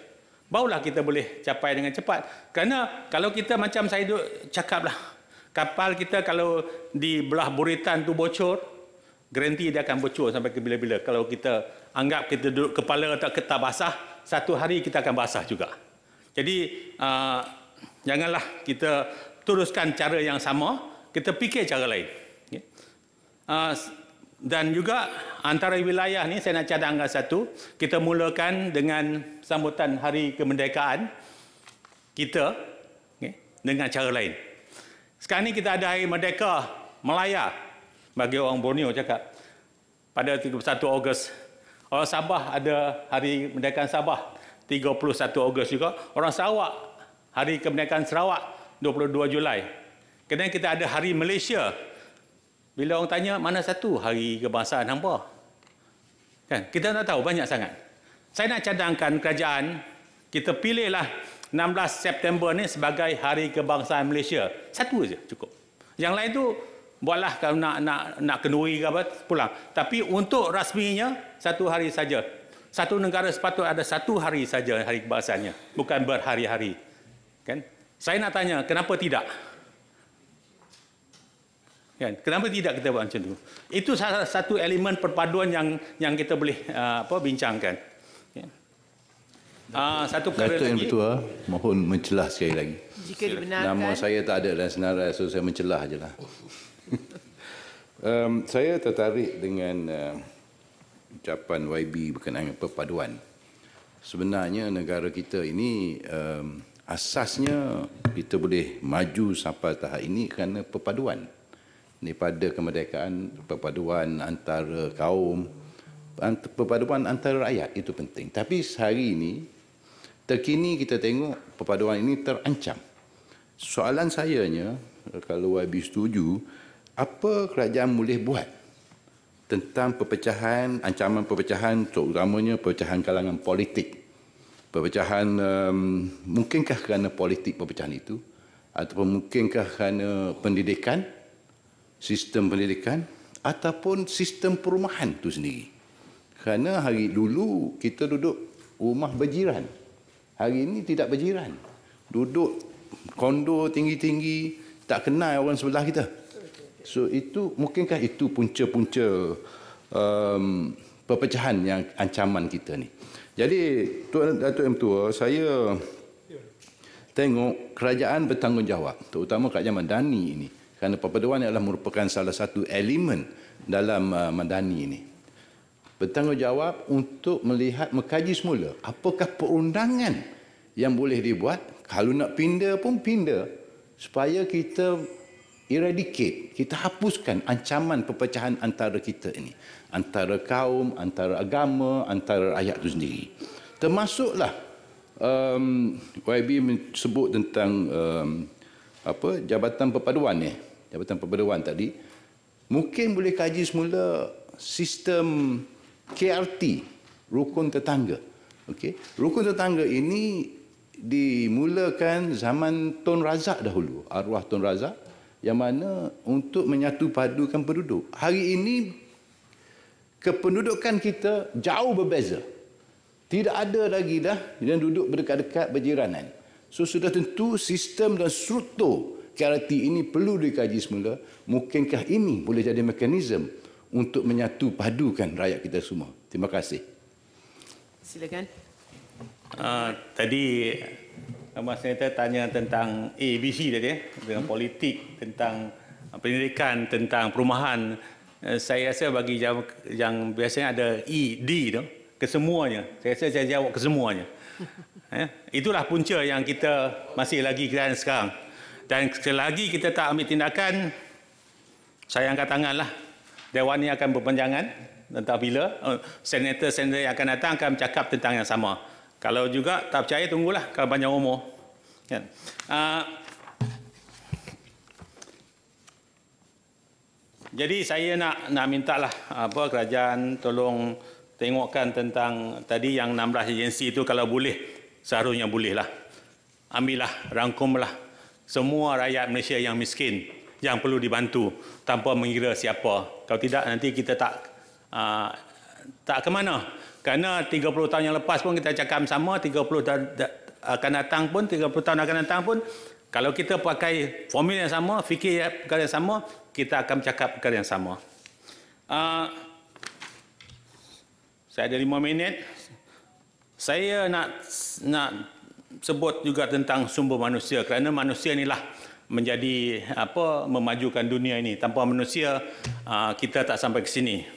Tapi malangnya kita mengklasif, mengklasifikasikan manusia ini berbagai-bagai. Yang paling terbaru yang rasa agak dahsyat juga kita ialah tentang uh, kewarganegaraan. Kerana apabila seorang itu tak ada warga negara, bukan warga negara mana-mana, semua tolak. Contoh contoh yang kita dengar ialah di macam di Sabah, uh, orang bajau laut yang kehilangan anak kerana katanya maknya tak mampu untuk jaga. Ada orang ambil tak tahu siapa ambil. Ada yang lari daripada kuasa pihak berkuasa terjun dalam air anaknya dimakan buaya kan? Jadi saya nak nak nak nak cadang kepada kajian lah. Kita di kawasan ASEAN ni orang Malaysia tak tak tak mengaku orang Bajau ni orang Malaysia orang Filipin pun tidak mengaku mengapa tidak kemudian luar ambil tindakan untuk membincang di peringkat ASEAN di peringkat ASEAN kita selesaikan masalah ni. Orang-orang kita apa Nusantara ni macam mana kita selesaikan? Tak adalah kata ngaku tak ngaku. Uh, jadi semua orang akan ada warga kewarganegaraan mereka. Kita kita selesaikan di peringkat ASEAN. Kerana kita pun dah setuju dengan konsep ASEAN Community, kenapa tidak kita uh, panjangkan perkara ini menjadikan setiap orang yang ada di kawasan ASEAN ni ada dokumen pribadinya. Ada cap jarinya.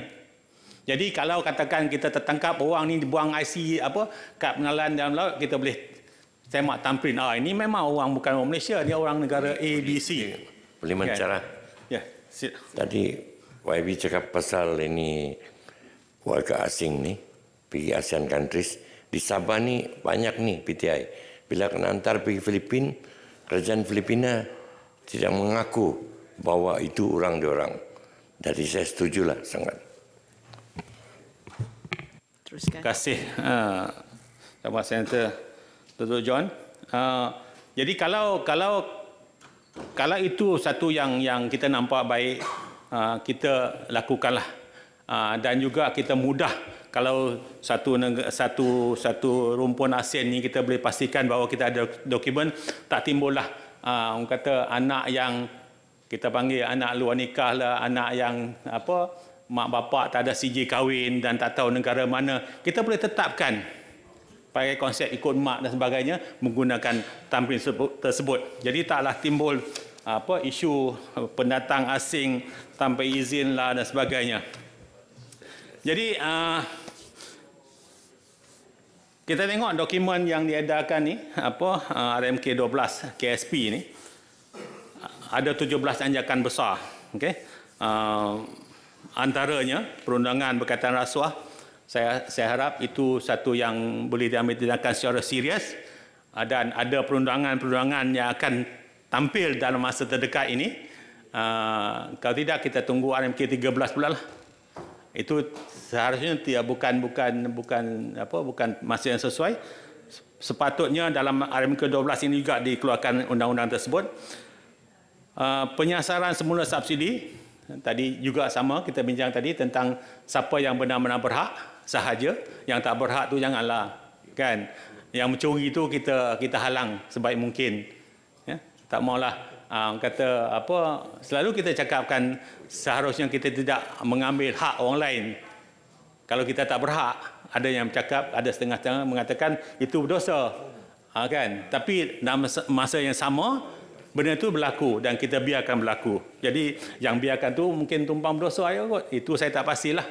Mungkin apa ustaz boleh tolong saya? Ha, kemudian perumahan rakyat. Ini tentang mampu rumah mampu milik.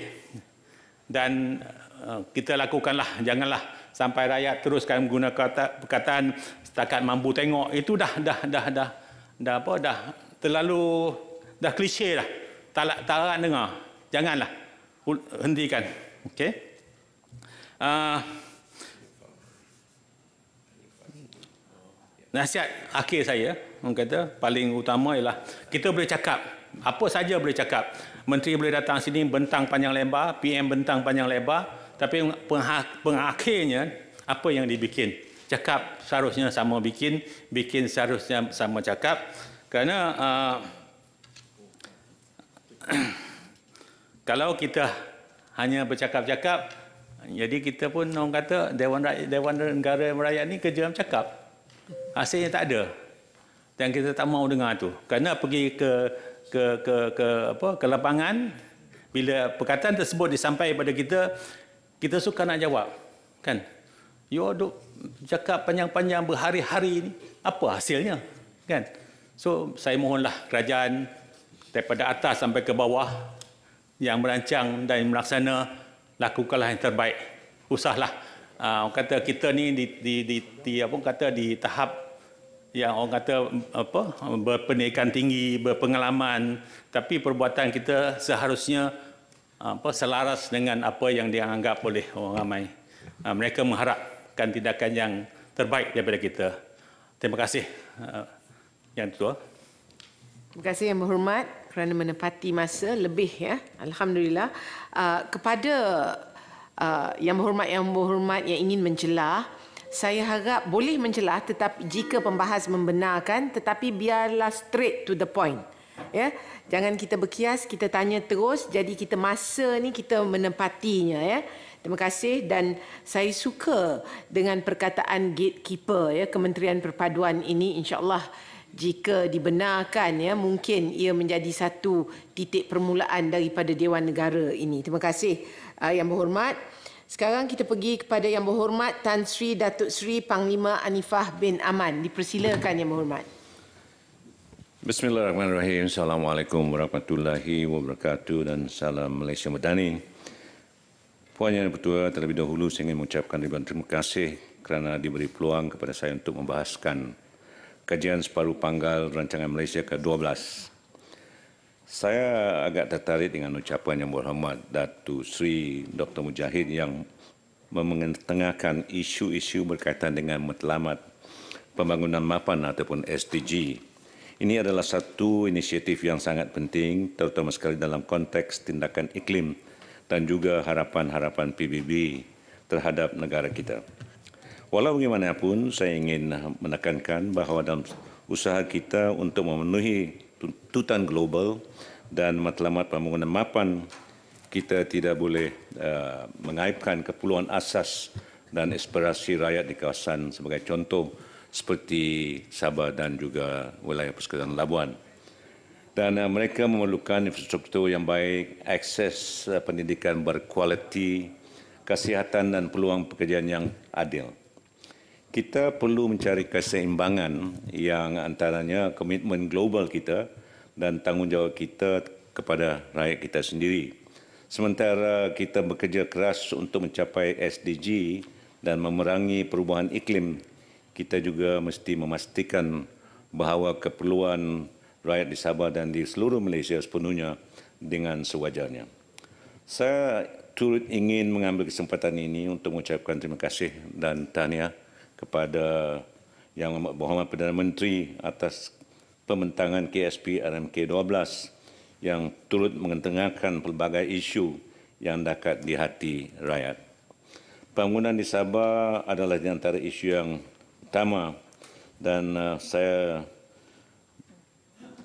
saya telah pun telah pun berbahas uh, berbincang dengan Ketua Menteri Sabah tentang keperluan-keperluan yang yang harus diutarakan di Dewan Negara ini. Puan Yang Ketua, saya mewakili suara hati rakyat Sabah menjunjung kasih ke atas kesudian Sri Paduka Baginda bersama Paduka Anak Dam mencemaduli untuk menyantuni rakyat dan mengenali Borneo dengan lebih dekat. Rakyat Sabah sangat-sangat terharu atas keramahan Sri Paduka Baginda berdua. Saya yakin tujuan Sri Paduka Baginda berdua melawat Sabah baru-baru ini adalah untuk mengenali rakyat dengan lebih dekat tanpa protokol istana.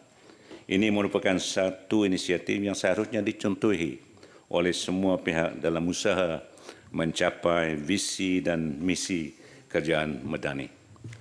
Puan Yang Ketua, untuk menentukan supaya rakyat Malaysia di Sabah dan Melaya Persekutuan Labuan terus mendapat pembelaan beberapa perkara dan isu utama seperti yang akan saya uh, bentangkan ini adalah wajar diberi perhatian dan juga yang serius oleh para pemimpin di peringkat pusat. RMK 12 kajian separuh panggal ini adalah bertujuan untuk menilai pencapaian plan tersebut setakat ini dan juga halat tuju kehadapan di dalam tempoh tiga tahun yang berikut iaitu 2023 dan 2025 ke arah mencapai status sebuah negara yang membangun secara mapan, makmur dan berpendapatan tinggi dengan mengambil kira cebaran-cebaran domestik dan juga global trends dengan izin. Kita sedia maklum bahawa pelbagai usaha telah diambil untuk merapatkan jurang pembangunan di antara semenanjung Malaysia dan Sabah dan juga Sarawak.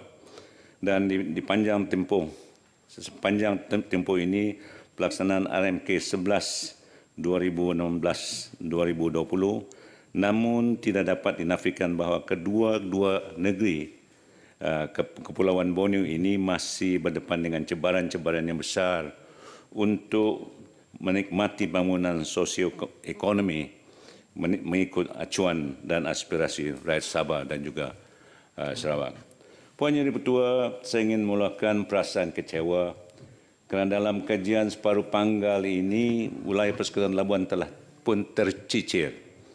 Soalan saya, apakah pertimbangan yang diberikan kepada wilayah persekutuan Labuan sehingga penghujung RMK 12 ini? Labuan patut diberi perhatian dan juga peruntukan yang setimpal.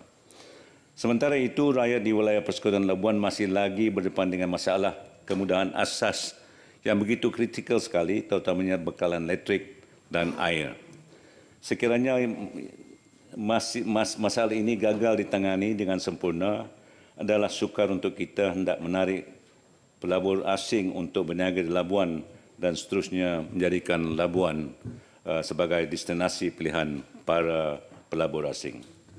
Kita tahu bahawa hanya dengan kemasukan pelaburan asing saja ekonomi akan dapat diperkembangkan dengan pesat dan mencipta peluang pekerjaan selain menjadi ekonomi spin-off yang akan menjana aliran tunai dan akan memanfaatkan penduduk di Labuan. Tanpa infrastruktur dan keperluan asas yang lengkap adalah sukar untuk rakyat untuk rakyat keluar dari kepompong kemiskinan dan akhirnya kita gagal mencapai apa yang amat berhormat Perdana Menteri hasratkan iaitu untuk menoktakan kemiskinan tegar. Di Sabah, terutamanya di kawasan bandar, kerajaan persekutuan seharusnya memberi lebih banyak peruntukan kepada kerajaan negeri untuk membangunkan perumahan bagi golongan berpendapatan rendah. Masalah kekurangan rumah mampu milik di kawasan urban Sabah memerlukan tindakan segera.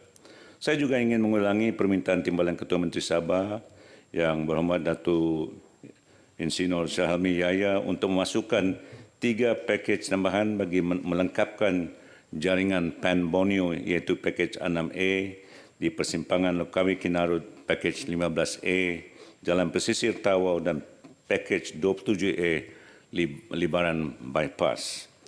Tuan Puan Yang Dipertua, apa yang anda saya suarakan ini sebenarnya bukanlah isu-isu yang baru. Hakikatnya isu bakalan elektrik, air dan jalan raya di Sabah termasuk juga wilayah persekutuan Labuan sudah lama menjadi keperluan rakyat. Kita mendengar keluhan rakyat di mana-mana saja dari media sosial dan juga di kedai-kedai kopi. Dan malah ini masih lagi kedengaran Dewan Rakyat dan juga Dewan Negara ini yang ketika ini. Persoalannya, adakah semua ini masih lagi menjadi isu yang akan diulang semasa pembentangan rancangan Malaysia ke-13 kelab? Adalah menjadi harapan saya isu ini tidak diulang kembali dan haruslah diselesaikan dalam RMK 12 ini. Puan Yang Dipertua, saya turut tertarik dengan 17 anjakan besar sebagai pemangkin utama melalui tu- 17 71 strategi dan inisiatif utama yang akan menjadi jaminan kerjaan untuk memenuhi tuntutan reformasi yang rakyat harapkan dan sekaligus menghidupkan pengertian sebenar Malaysia Madani. Apa kiranya kerajaan-kerajaan negeri juga diberi kuasa secara langsung agar dapat secara efektif bersama-sama berusaha sejajar dengan kerajaan persekutuan dalam inisiatif menoktakan kemiskinan tegar. Seharusnya kerajaan negeri yang lebih miskin diberi peruntukan yang leb- lebih besar daripada peruntukan ringgit Malaysia 1.5 bilion tersebut dengan izin. In other words, I'm talking about the distribution rather than the equal distribution. Fair distribution, not just equal distribution dengan izin. Saya menaruh keyakinan bahawa sekiranya kerajaan negeri diberi kuasa yang lebih luas dan peruntukan yang sepadan, Sabah dengan Halat Tujuh Sabah Maju Jaya di bawah kepimpinan Yang Amat Berhormat Datuk Seri Haji Haji Nur akan mampu menuktakkan kemiskinan tegas selaras dengan apa yang dihasratkan oleh Yang Amat Berhormat Perdana Menteri kita.